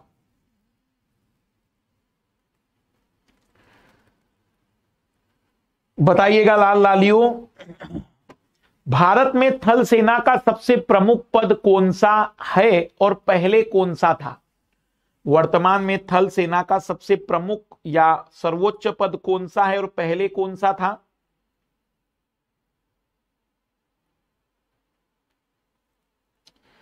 तो जनरल और फ़ील्ड मार्शल पहला था। इसके पहले फ़ील्ड मार्शल था हमारे देश में आईजीएमडीपी प्रोग्राम के तहत कितनी मिसाइलों को विकसित करने का लक्ष्य था? Integrated guided missile development programme 1978-79 में शुरू हुआ। इंदिरा गांधी के अंतर्गत हम कह सकते हैं। और आपको बताना है कि इसमें कितनी मिसाइलों को विकसित करने का लक्ष्य था? पाँच मिसाइलों को। पाँचों की ट्रिक्स हैं। पाँचों को याद रखने की ट्रिक्स हैं पटना। पटना। फिर 2008 में हमने अग्नि मिसाइल डेवलपमेंट प्रोग्राम स्टार्ट किया। मुझे बताइएगा, कौन सी मिसाइल सतह से सतह मार कर सकती है? कौन सी मिसाइल सतह से सतह? कौन सी मिसाइल सतह से सतह? पृथ्वी और अग्नि, पृथ्वी, अग्नि कौन सी मिसाइल हवा से हवा में मार कर सकती है? हवा से हवा में। हवा से हवा में मार कर सकने वाली कौन सी मिसाइल? हवा से हवा में। अस्त्र अस्त्र। कौन सी मिसाइल सतह से हवा में मार कर सकती है? सतह से हवा में। सतह से हवा में मार करने वाली। त्रिशूल और आकाश, त्रिशूल और आकाश। कौन सी मिसाइलों को दागो और भूलो मिसाइल कहते हैं? कौन सी मिसाइलों को दागो और भूलो मिसाइल कहते हैं?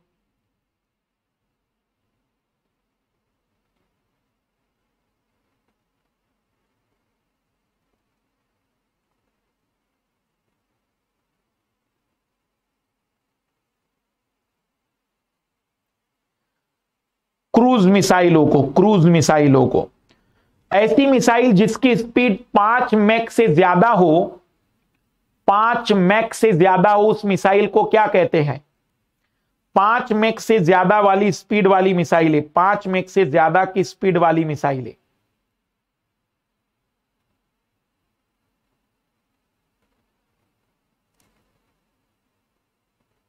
हाइपरसोनिक ऐसी कौन सी मिसाइल है जिसकी रेंज 5500 किलोमीटर से अधिक होती है? 5500 किलोमीटर से अधिक रेंज वाली मिसाइलों को क्या कहते हैं? 5500 किलोमीटर से अधिक रेंज वाली मिसाइलों को क्या कहते हैं?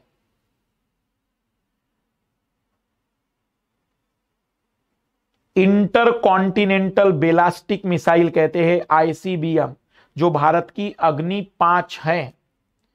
भारत में जो हेलिना है, वो कैसी मिसाइल है हेलिना? हेलिना कैसी मिसाइल है भारत की हेलिना?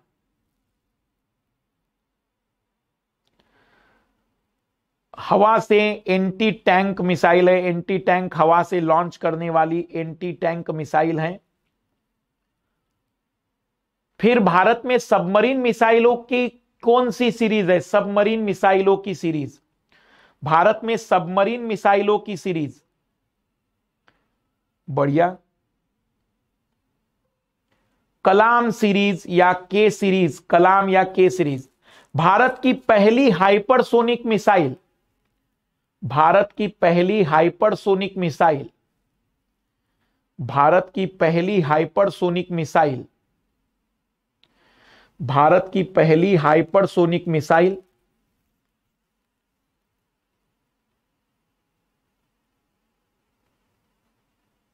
शौर्य।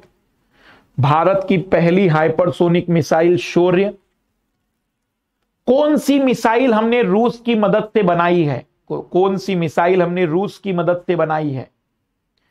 कौन सी मिसाइल हमने रूस की मदद से बनाई है? ब्रह्मोस्त्र। कौन सा टैंक हम रूस से लेकर आए हैं? कौन सा tank? Bhishma tank, Arjun tank हमारा स्वदेशी है। हमारे देश का राडार सिस्टम का नाम क्या है? जो राडार सिस्टम है तो राडार स्वाथी है स्वाथी पिनाका क्या है? पिनाका पिनाका। पिनाका क्या है? Pinaka.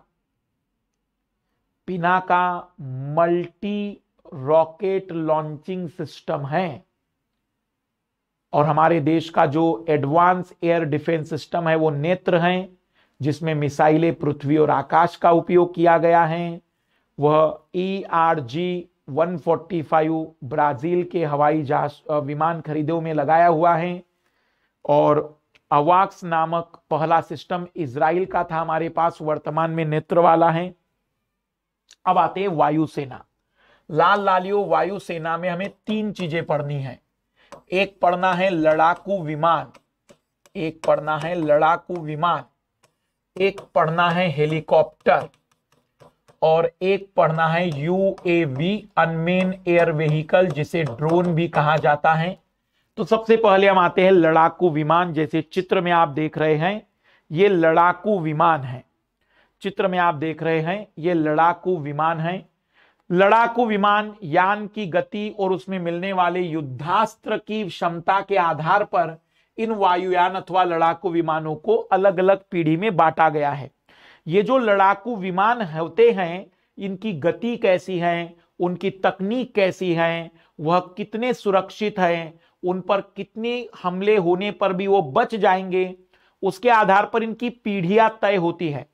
जो बॉर्डर मूवी देखी होगी तो बॉर्डर मूवी में आपने देखा होगा कि हमारी वायुसेना इंतज़ार कर रही होती है सुबह के होने का, ताकि वह उनको मदद पहुँचा सके थल सेना को।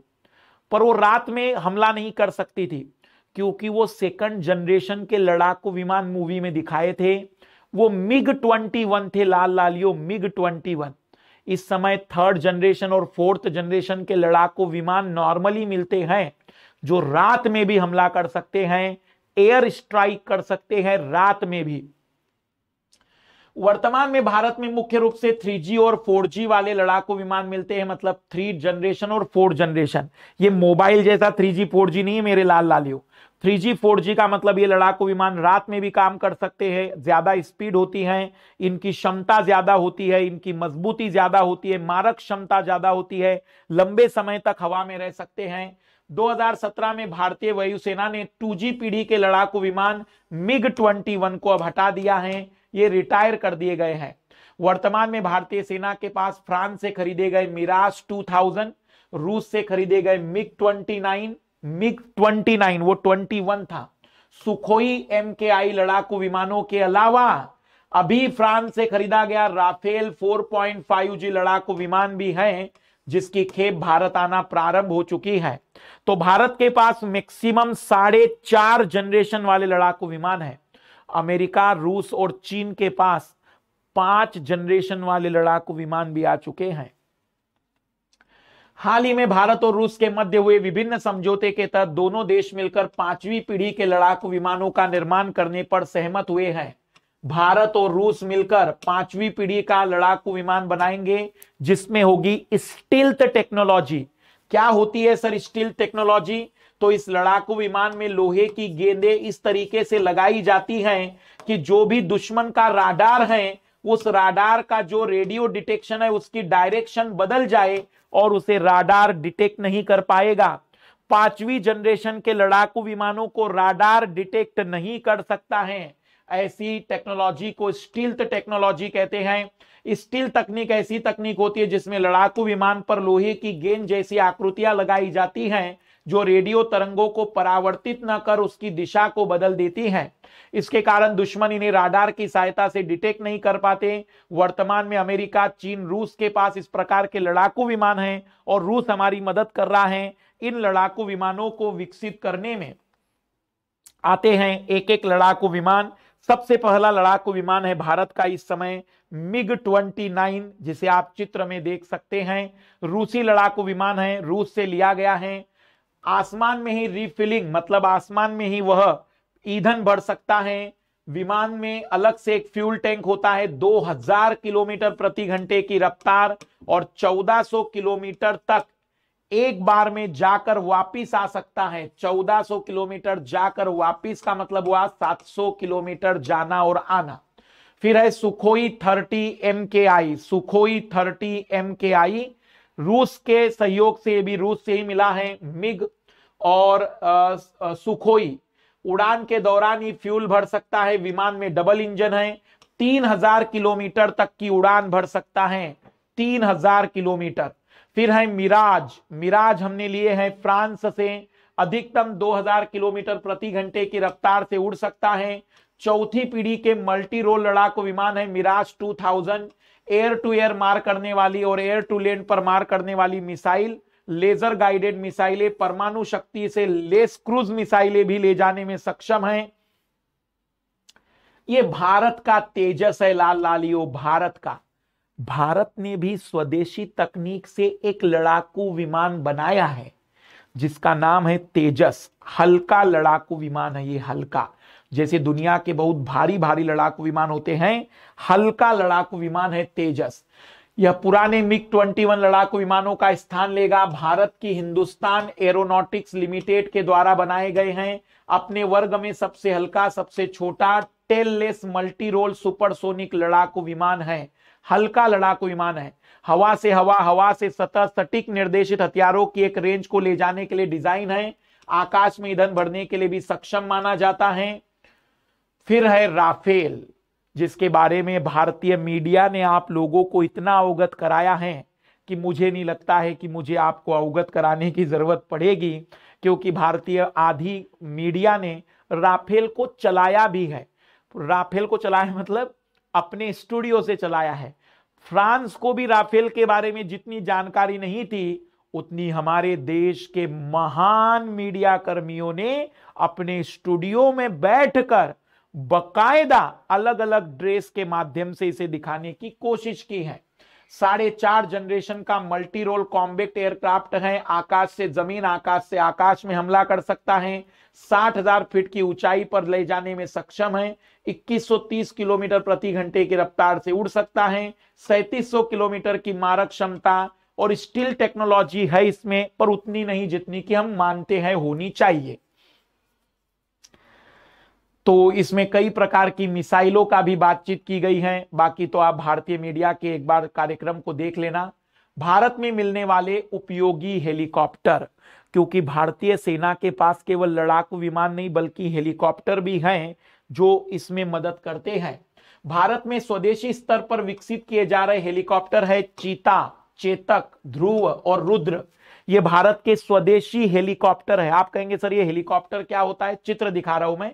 भारत ने ध्रुव नामक हेलीकॉप्टर कई देशों को बेचा भी है। भारत का सबसे पुराना हेलीकॉप्टर ध्रुव है, जो भारतीय सेना में अपनी सेवा देता है। भारत में कई विदेशी हेलीकॉप्टर भी हैं। ये हेलीकॉप्टर कुछ ऐसे होते हैं, जिनसे हथियार भी दागे जा सकते हैं, मिसाइलें भी दागी जा सकती हैं। चीता हेलीकॉप्टर है, सिंगल इंजन वाला हेलीकॉप्टर गर्म वातावरण में भी काम कर सकता है। ये चेतक हेलीकॉप्टर है, नेवी के पास मौजूद सबसे पुराना हेलीकॉप्टर चेतक है। Dhruv helicopter Hindustan aeronautics limited के द्वारा हल्का लड़ाकू विमान है Dhruv helicopter.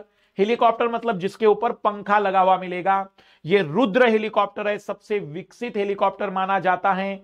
Hindustan aeronautics limited के द्वारा एंटी टैंक गाइडेड मिसाइल और हवा से हवा मार करने वाला। इसमें हेलिना इसमें भी है और ध्रुव में भी रखी गई है। तो ये हेलीकॉप्टर है। और शिनुक और अपाचे जैसे हेलीकॉप्टर हमने अमेरिका से खरीदे हैं।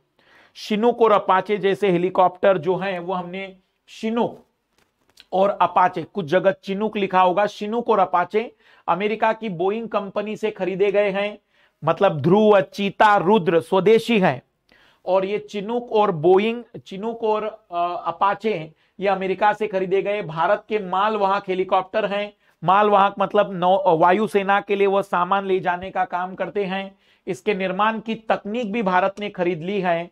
इन हेलीकॉप्टर के निर्माण की तकनीक भी खरीद ली है मतलब अब भविष्य में हेलीकॉप्टर भारत में बनेंगे। इसके अलावा भारत के पास एम आई ट्वेंटी फाइव है, जो रूस से लिया गया है। एक बड़ा हेलीकॉप्टर माना जाता है, लगभग इस टाइप का हेलीकॉप्टर है ये। इस टाइप का हेलीकॉप्टर है ये। फिर आते हैं यूएवी ड्रोन वायुसेना की तीसरी ताकत है ड्रोन जिसमें कोई मनुष्य नहीं होता है। यह निगरानी के लिए और हमले के लिए भी उपयोग किए जाने लगे हैं। Drone UAV unmanned air vehicle इसमें भारत के पास है रुस्तम मध्यम ऊंचाई पर लगभग सत्ताईस हज़ार फीट। भारत की तीनों सेनाओं के द्वारा इसका उपयोग होता है। 24 घंटे तक उड़ान भर सकता है। लेकिन सबसे बेहतर है रुस्तम दो। सबसे बेहतरीन है रुस्तम दो। जो रुस्तम दो है वो काफ़ी लंबे समय तक, बाईस हज़ार फीट की ऊंचाई तक 1.8 टन का है 280 किलोमीटर पर आवर रिमोट से कंट्रोल करेंगे हम इसे। बिना किसी मनुष्य के तो अगर इसको कोई गिरा भी देता है तो मानव की हानि नहीं होती है। Medium long range electro optic का उपयोग है, सिंथेटिक अपर्चर राडार है, इलेक्ट्रॉनिक इंटेलिजेंस है, और कम्युनिकेशन इंटेलिजेंस तीनों के द्वारा, और याद रखना है, डीआरडीओ के द्वारा विकसित है ये ड्रोन। रुस्तम टू सबसे बेहतरीन ड्रोन है भारत का, जो हथियारों से भी भविष्य में लेस किया जाएगा। पर अभी केवल निगरानी के लिए। तीसरा नेत्र है। टोही अभियानों के लिए यूज़ किया जाने वाला नेत्र है। फिर निशांत भी ड्रोन है। नेत्र, निशांत सब डीआरडीओ के द्वारा एक अभ्यास ड्रोन भी है, जो एक पक्षी के आकार का माना जाता है। जनरली ऑटो पायलट सभी में है। फिर हेरॉन ड्रोन है। जो हमने इसराइल से खरीदे हैं। तो रुस्तम वन, रुस्तम टू, नेत्र, ये सब हमारे देश के हैं, पर हमने हेरॉन ड्रोन इसराइल से खरीदे हैं इसराइल से खरीदे हैं। ड्रोन के संबंध में इस पिछले साल 2019 में मतलब नए दिशा निर्देश आए थे। वर्ष 2019 में केंद्र सरकार ने ड्रोन अनमेन एयर व्हीकल के संबंध में दिशा निर्देश जारी किए हैं। डीजीसीए ने ड्रोन के मुख्यतः पाँच प्रकार निर्धारित किए हैं। डीजीसीए मतलब हमारे देश में जो एयर ट्रैफ़िक को कंट्रोल करने वाला सेंटर है। इधर ध्यान से सुनना, लाल लालियो एक्चुअली अब अमेजोन और कई ई कॉमर्स कंपनियाँ ड्रोन के माध्यम से भी डिलीवरी करने की बात कर रही है। तो कुछ रेगुलेशन ज़रूरी है। इसमें पाँच तरीके के ड्रोन आएँगे। नैनो माइक्रो स्मॉल मीडियम और लार्ज नैनो ड्रोन वो होंगे जिनका वज़न 250 ग्राम से कम होगा, माइक्रो ड्रोन जिनका 250 ग्राम से अधिक लेकिन दो किलोग्राम से कम, स्मॉल ड्रोन दो किलोग्राम से 25 किलोग्राम के, मीडियम ड्रोन 25 किलोग्राम से 150 किलोग्राम तक के और लार्ज ड्रोन 150 किलोग्राम से ज़्यादा। नैनो ड्रोन के अतिरिक्त अन्य सभी ड्रोन को विमानन नियामक, एविएशन रेगुलेटर से विशिष्ट पहचान पत्र प्राप्त करना होगा। मतलब जितने भी ड्रोन होंगे जो भी ई कॉमर्स वाली कंपनियाँ डिलीवरी सिस्टम में इनका उपयोग करेगी तो जो, जैसे हमारे गाड़ी का एक नंबर प्लेट होता है, वैसे हर एक का नंबर प्लेट रहेगा, और ये नंबर प्लेट कौन देगा? विमानन नियामक एविएशन रेगुलेटरी बॉडी सभी ड्रोन के लिए आवश्यक उपकरण जैसे जीपीएस आईडी प्लेट आदि अनिवार्य हैं। ड्रोन के लिए आवश्यक है कि उसका प्रयोग केवल दिन के समय किया जाए परंतु रात के समय होने वाले सामाजिक समारोह, विवाह समारोह आदि में फोटोग्राफी के लिए ड्रोन की अनुमति है। किंतु प्रयोग करने से पूर्व पुलिस और प्रशासन को सूचना देना अनिवार्य है। और कुछ जगह पर ड्रोन उड़ाने की अनुमति नहीं रहेगी। जैसे कि जनपद हो गया, हमारे जो स्मारक है, वहाँ पर ड्रोन दिन और रात में नहीं उड़ाए जा सकते, कभी भी नहीं उड़ाए जा सकते। वहाँ पर कंट्रोल रखने की बात कही गई है। अब आते हैं लाल लालियो नौसेना पर। नौसेना में हमें दो चीज़ें पढ़नी है और नौसेना में दो चीज़ें क्या पढ़नी है? एक तो पढ़नी है विमान वाहक पोत, विमान वाहक पोत। और दूसरा पढ़ना है हमें पंडुब्बी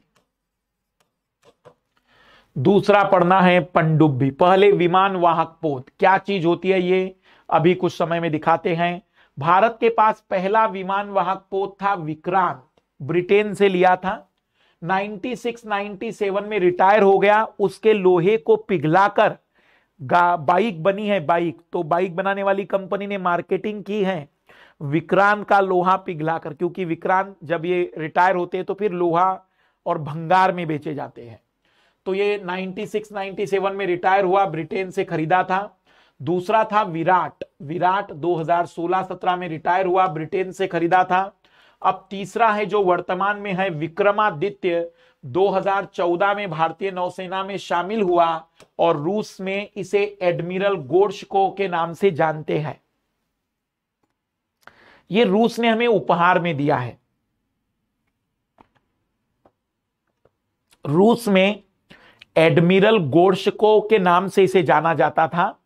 ये रिटायर हुआ रूस में तो रूस ने इसे गिफ्ट किया, लेकिन रूस ने बदमाशी की। उसने गिफ्ट देने के साथ एक शर्त रखी कि इसकी मरम्मत का काम आप रूसी कंपनी को देंगे। उस बदमाश रूसी कंपनी ने दो दशमलव चार बिलियन डॉलर अमाउंट लिया हमसे उसकी मरम्मत का। तो 2014 में भले ही ये उपहार है, लेकिन खरीदा गया उपहार है। ये है विमान वाहक पोत। आप जरा चित्र पर गौर देख गौर से देखिएगा, बहुत बड़ा जहाज़ होता है। आपको मैं बता दूँ कि अमेरिका के पास ऐसे 11 हैं। ब्रिटेन, फ्रांस, चीन, रूस के पास ऐसे दो दो, तीन तीन, चार चार हैं। अभी भारत के पास केवल एक है, विक्रमादित्य। एडमिरल गोर्चको को भारत में जब शामिल किया गया तो विक्रमादित्य के नाम से इस पर मिग 29 लड़ाकू विमान यहाँ खड़े होते हैं। यहाँ मिग 29 हेलीकॉप्टर जो होते हैं, वो भी यहाँ पर खड़े होते हैं और इसकी स्पीड ज़्यादा से ज़्यादा 30 नॉट्स तक होती है 30 नॉट्स। और ये 7000 नॉटिकल माइल तक जा सकता है। 18 नॉट्स की नॉर्मल स्पीड होती है। तो आप सोचिए कि इसको चलाने के लिए कितनी बड़ी ऊर्जा की ज़रूरत पड़ती होगी। जनरली ये परमाणु ऊर्जा से चलते हैं, एटॉमिक एनर्जी से चलते हैं।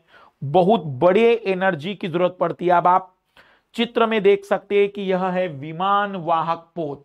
यहाँ से लड़ाकू विमान आ, मतलब फ़्लाइट मतलब उड़ान भरते हैं और यहाँ पर उतरते भी हैं। लैंडिंग भी करते हैं। लगभग 1600 से 1800 जवान नौसेना के 1600 से 1800 जवान यहाँ पर रह सकते हैं। इनकी पूरी सुविधा होती है। 1600 से 1800 जवानों को रोकने की पूरी सुविधा होती है। सोचिए कि लड़ाकू विमान जैसा हेवी व्हीकल जब इस पर आता होगा तो ये हिलता भी नहीं है। कितनी भयानक ताकत इसको चलाने में लगती होगी, आप इससे अंदाज़ा लगा सकते हैं। तो आईएनएस विक्रांत यह भारत का स्वदेश में निर्मित भारत ने भी स्वदेशी निर्मित शुरू कर दिया है। 2014 में तकलीफ़ हुई तो। और कौन मदद कर रहा है हमारी? अमेरिका। अमेरिका कह रहा है कि क्यों रूस के फेरे में रहते हो? मैं मदद कर रहा हूँ। ये दोनों ही देश हमें एक दूसरे के खिलाफ भड़काने में मदद करते रहते हैं।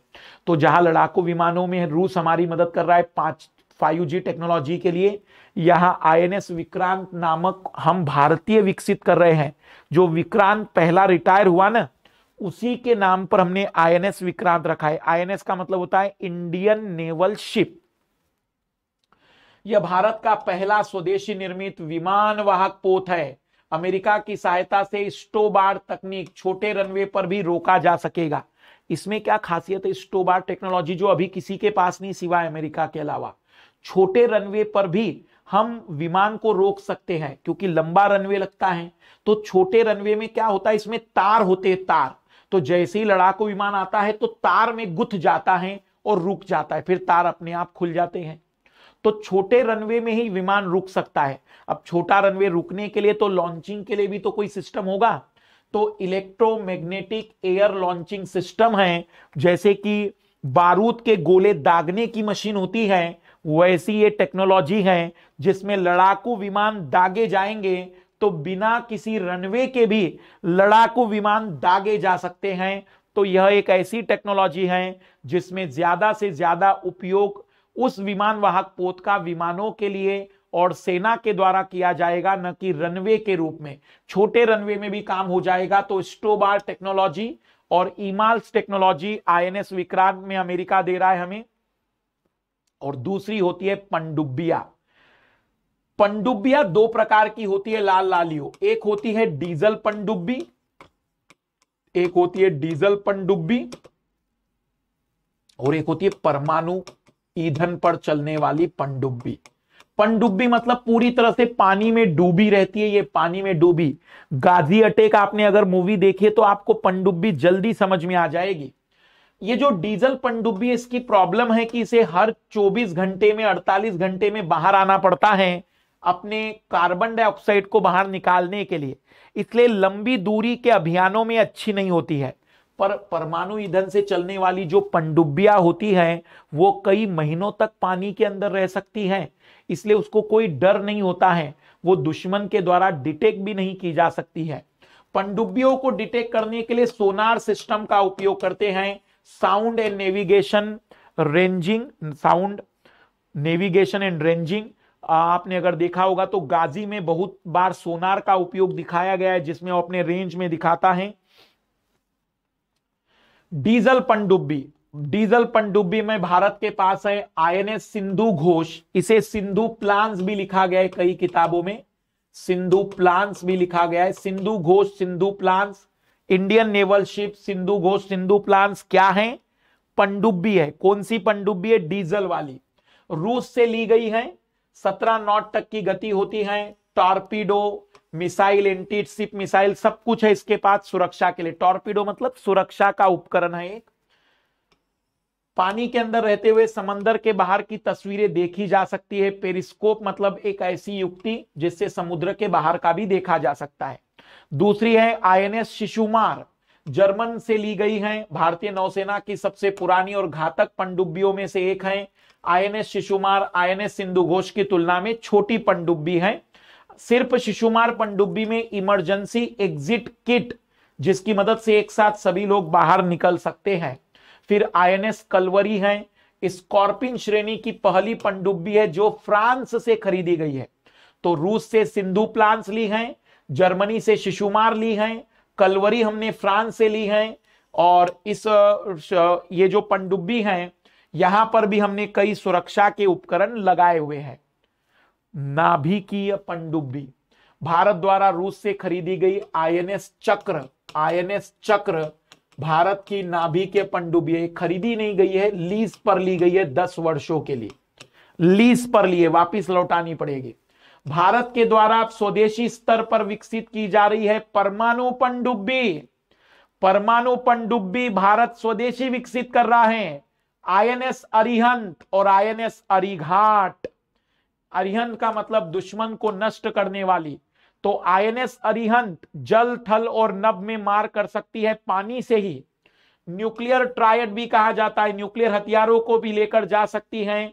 ये भारत की पहली न्यूक्लियर नाभिकीय ईंधन पर चलने वाली पनडुब्बी है। अरिहंत अरिहंत, आईएनएस अरिहंत।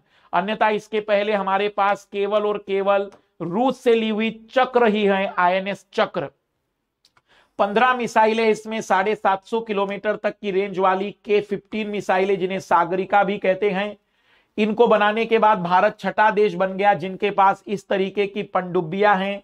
अमेरिका, रूस, चीन, ब्रिटेन और फ्रांस के अलावा। फिर आईएनएस अरिघाट भी विकसित की जा रही है। अरियन की दूसरी श्रेणी की पनडुब्बी है और यह भारत की।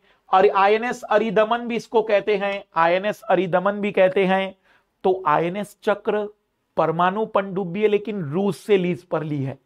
आईएनएस अरिहंत और आईएनएस अरिघाट भारत खुद विकसित कर रहा है।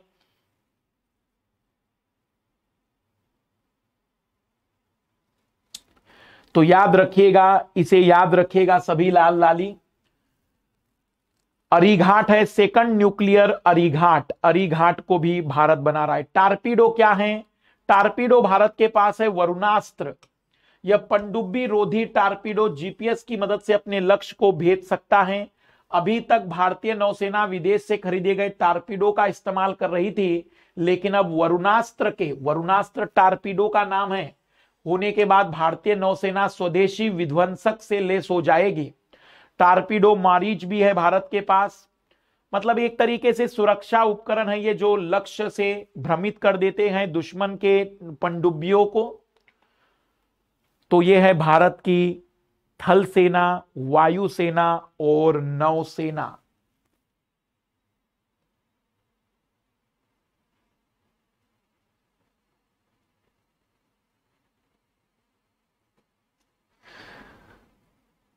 तो लाल लालियों, परमाणु शस्त्र कार्यक्रम, भारत का परमाणु शस्त्र कार्यक्रम भी रक्षा का एक महत्वपूर्ण कार्यक्रम है, क्योंकि भारत ने परमाणु बम बनाया। उसके बाद ही तो भारत के बारे में दुनिया वालों को पता चला कि यह भी एक शक्तिशाली राष्ट्र है। 18 मई 18 मई उन्नीस सौ चौहत्तर, आज से चार दिन के बाद 18 मई उन्नीस सौ चौहत्तर में पहली बार परीक्षण किया था परमाणु बम का भारत ने। राजस्थान के पोखरन में उस परीक्षण का नाम रखा था स्माइलिंग बुद्धा। इसके बाद विश्व के कई शक्तिशाली देशों ने हम पर प्रतिबंध लगाए थे रूस को छोड़कर। फिर उन्नीस सौ अट्ठानवे में अटल बिहारी वाजपेयी की सरकार ने 11 मई और 13 मई 11 मई और 13 मई को मिशन शक्ति के नाम से परमाणु बम, लाल लालियो परमाणु बम और हाइड्रोजन बम का परीक्षण किया था। भारत उन देशों की सूची में शामिल हो गया जिनके पास हाइड्रोजन बम भी है। तो 11 और 13 मई को मिशन शक्ति उन्नीस सौ अट्ठानवे में परीक्षण हुआ था। भारतीय परमाणु शस्त्र कार्यक्रम किसी भी देश पर हमला करने के लिए नहीं, बल्कि सेल्फ डिफेंस का प्रोग्राम माना जाता है। परमाणु बम सेना के हाथ में नहीं, बल्कि सरकार के हाथ में है, क्योंकि हमारे देश में परमाणु बम का उपयोग करना है या नहीं? ये राजनीतिक इकाई तय करती है। राजनीतिक इकाई मतलब प्रधानमंत्री और उनकी अध्यक्षता में बनाई गई कैबिनेट की समिति। उसके नीचे एक और समिति है, जिसमें तीनों सेना के अध्यक्ष होते हैं, महत्वपूर्ण सचिव होते हैं, और वो सलाह देते हैं इन्हें कि आपने परमाणु बम उपयोग करना चाहिए या नहीं। पर इनकी सलाह बाध्यकारी नहीं होती है। अंतिम निर्णय राजनीतिक इकाई का होता है। भारत सर, भारत के नागरिकों द्वारा चुनी गई सरकार का होता है। भारत पहले परमाणु बम का प्रयोग नहीं करेगा लेकिन आत्मरक्षा के लिए अंतरराष्ट्रीय समझौते पर हस्ताक्षर किए बिना ही भारत इन समझौते का पालन करता है। भारत के परमाणु बम न्यूनतम क्षमता वाले हैं लेकिन जैविक रासायनिक हमले अगर भारत पर हुए तो भारत उसका जवाब परमाणु बम से देगा। फिर विश्व में इस परमाणु बम की होड़ और हथियारों की होड़ को कम करने के लिए कई प्रकार की संधियाँ भी आई। सबसे पहली संधि है परमाणु अप्रसार संधि नॉन प्रोलिफरेशन ट्रीटी ये इतनी बदमाश वाली संधि है ना कि इसमें पहले से ही विश्व को दो भागों में बांटा गया है। एक है परमाणु हथियार संपन्न देश, जिसमें पाँच देश हैं जिन्हें की यूनाइटेड नेशन की सुरक्षा परिषद में स्थायी सदस्यता है। ये संधि कहती है कि भाई ठीक है, इन पाँच देशों ने विकसित कर लिया, ठीक है, पर अब कोई और देश विकसित नहीं करेगा। तो हमने कहा, भाई ये कौन सी भेदभाव वाली नीति चल रही है? उनको भी मना करो, बंद करो, उनसे कहो कि हथियार खत्म कर डाले वो परमाणु बम के। हम भी नहीं बनाएँगे। हमने हाथ नहीं साइन नहीं किए। हमने साइन नहीं किए, पाकिस्तान ने साइन नहीं किए। पाकिस्तान का आर्ग्यूमेंट है कि भारत करेगा तो हम करेंगे। इज़राइल ने भी साइन नहीं किए इस संधि पर। 1968 में हस्ताक्षर किए गए 1970 से प्रभावी हैं। 191 कंट्रीज़ में शामिल है। भारत ने इस संधि पर हस्ताक्षर नहीं किए हैं। भारत कह रहा है भी भेदभावपूर्ण है। भारत का विचार है कि एनपीटी संधि भेदभावपूर्ण है तो इसमें शामिल होना उचित नहीं है। हमारे पड़ोस में चीन के पास परमाणु बम है तो हम कैसे सुरक्षा की बात ना करें? भारत का तर्क है कि यह संधि सिर्फ़ पाँच शक्ति, अमेरिका, रूस, चीन, ब्रिटेन, फ्रांस को परमाणु क्षमता का एकाधिकार प्रदान करती है और अन्य देशों को परमाणु शक्ति संपन्न नहीं, उन्हें सिर्फ़ उन पर ही नियंत्रण की बात करती है, जबकि पहले इन पाँचों पर नियंत्रण करिए तो हमने एनपीटी पर साइन नहीं किए। फिर दूसरी स्ट्रेट दूसरी ट्रिटी है, strategic arms limitation talk America और रूस। शीत युद्ध में अमेरिका और रूस ने इतने हथियार बढ़ा लिए थे ना कि इनसे रिक्वेस्ट की लोगों ने कि भाई, क्या चाहते हो? पूरी पृथ्वी खत्म हो जाए। तब जाकर इन्होंने अपने हथियार कम किए। सामरिक हथियारों पर प्रतिबंध लगाना 1972 में हस्ताक्षर हुए। वर्तमान में अप्रभावी, क्योंकि अब इसका नवीनीकरण नहीं हुआ। तो सॉल्ट आई। फिर missile technology control regime MTCR जिसके तहत कहा गया कि 300 किलोमीटर या उससे अधिक मारक क्षमता वाली टेक्नोलॉजी किसी भी देश को नहीं दी जाएगी। हाँ वो खुद अगर विकसित करता है तो वो इसका सदस्य बनेगा, लेकिन कोई भी देश जिसके पास ये टेक्नोलॉजी है, वह किसी दूसरे देश को नहीं देगा। मिसाइल टेक्नोलॉजी कंट्रोल रिजिम 1987 में जी सेवन देशों के द्वारा फिर 12 विकसित देशों ने मिलकर आणविक हथियारों के प्रसार को रोकने के लिए समझौता किया। एमटीसीआर 2016 में भारत एमटीसीआर का पूर्ण सदस्य बन गया है। फिर स्टार्ट संधि अमेरिका और रूस के बीच में हुई थी परमाणु हथियारों को रोकने के लिए। उन्नीस में स्टार्ट वन हुआ था और अभी स्टार्ट टू की बात चल रही है। विस्तार करने का प्रस्ताव रखा है। रूस ने भी सहमति दी है। बारह बारह सौ परमाणु बम बना चुके हैं गरीब लोग। पाँच परमाणु बम में पृथ्वी कभी ज़िंदगी नहीं देख पाएगी। पर ये गरीब बारह बारह सौ परमाणु बम बना चुके हैं केवल हवाबाजी में, केवल हवाबाजी में। तो स्टार्ट और सॉल्ट अमेरिका और रूस के बीच में फिर सीटीबीटी आई, comprehensive nuclear test ban treaty. इस संधि का कहना है कि परमाणु परीक्षण पर भी बैन कर दो। भारत ने कहा कि कुछ देशों के पास सुपर कंप्यूटर हैं जो छोटे से परीक्षण से भी बता सकते हैं कि उनके परमाणु बम की ताकत कितनी है। अगर बैन करना है तो सब कुछ बैन करो ना, हम तो पूर्ण निशस्त्रीकरण के लिए कभी भी तैयार हैं। ये ऐसे अधूरे बैन क्यों लगाते हो? हमने इस पर भी साइन नहीं किया। 24 सितंबर 96 को अस्तित्व में आई। भारत पाकिस्तान सीटीबीटी पर हस्ताक्षर नहीं किया इसराइल ने भी नहीं किया। परमाणु परीक्षणों पर प्रतिबंध, सदस्य देश अपने नियंत्रण में आने वाले क्षेत्र में परमाणु परीक्षण नहीं करेंगे। हमने कहा, हम नहीं करने वाले हैं। बैन करना है तो सब करो फिर।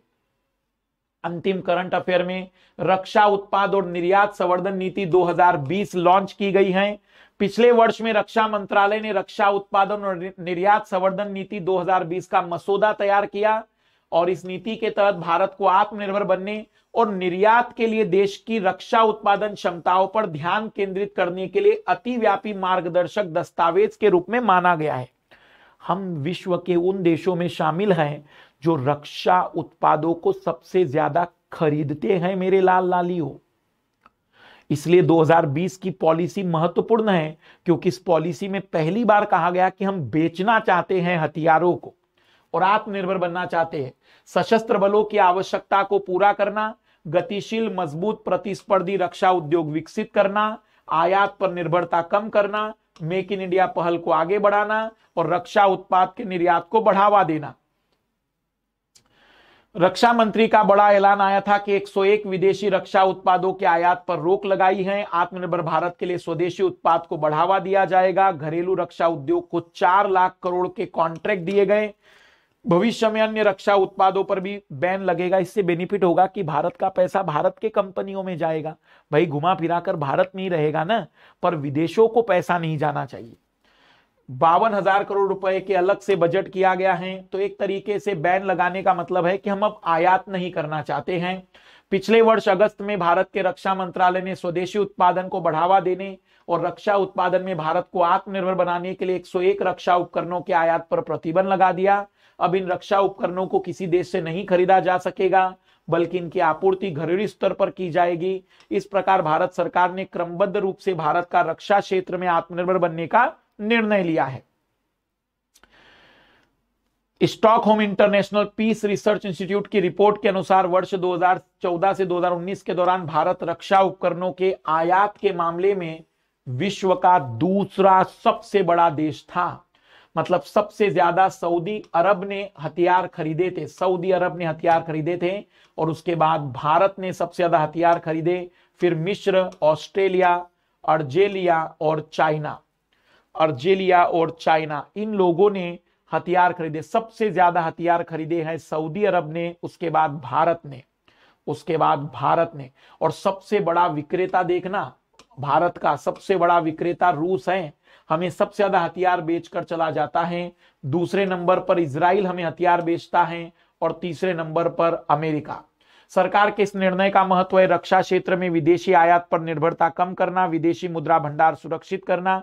भविष्य में भारत निर्यात भी कर सकता है, रोज़गार के अवसर बनेंगे। घरेलू इकाइयों में सकारात्मक प्रतिस्पर्धा होगी तो आत्मनिर्भर भारत बनेगा।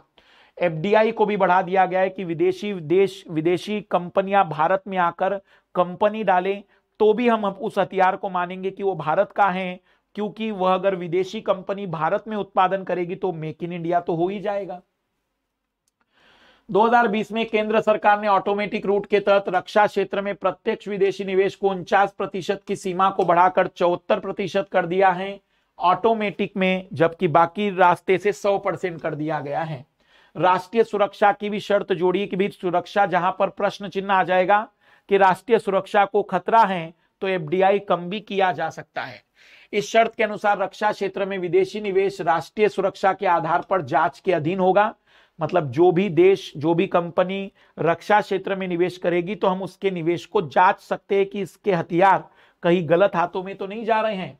साथ ही सरकार के पास रक्षा क्षेत्र में किसी भी ऐसे विदेशी निवेश की समीक्षा करने का अधिकार सुरक्षित होगा, जो राष्ट्रीय सुरक्षा को प्रभावित कर सकता है।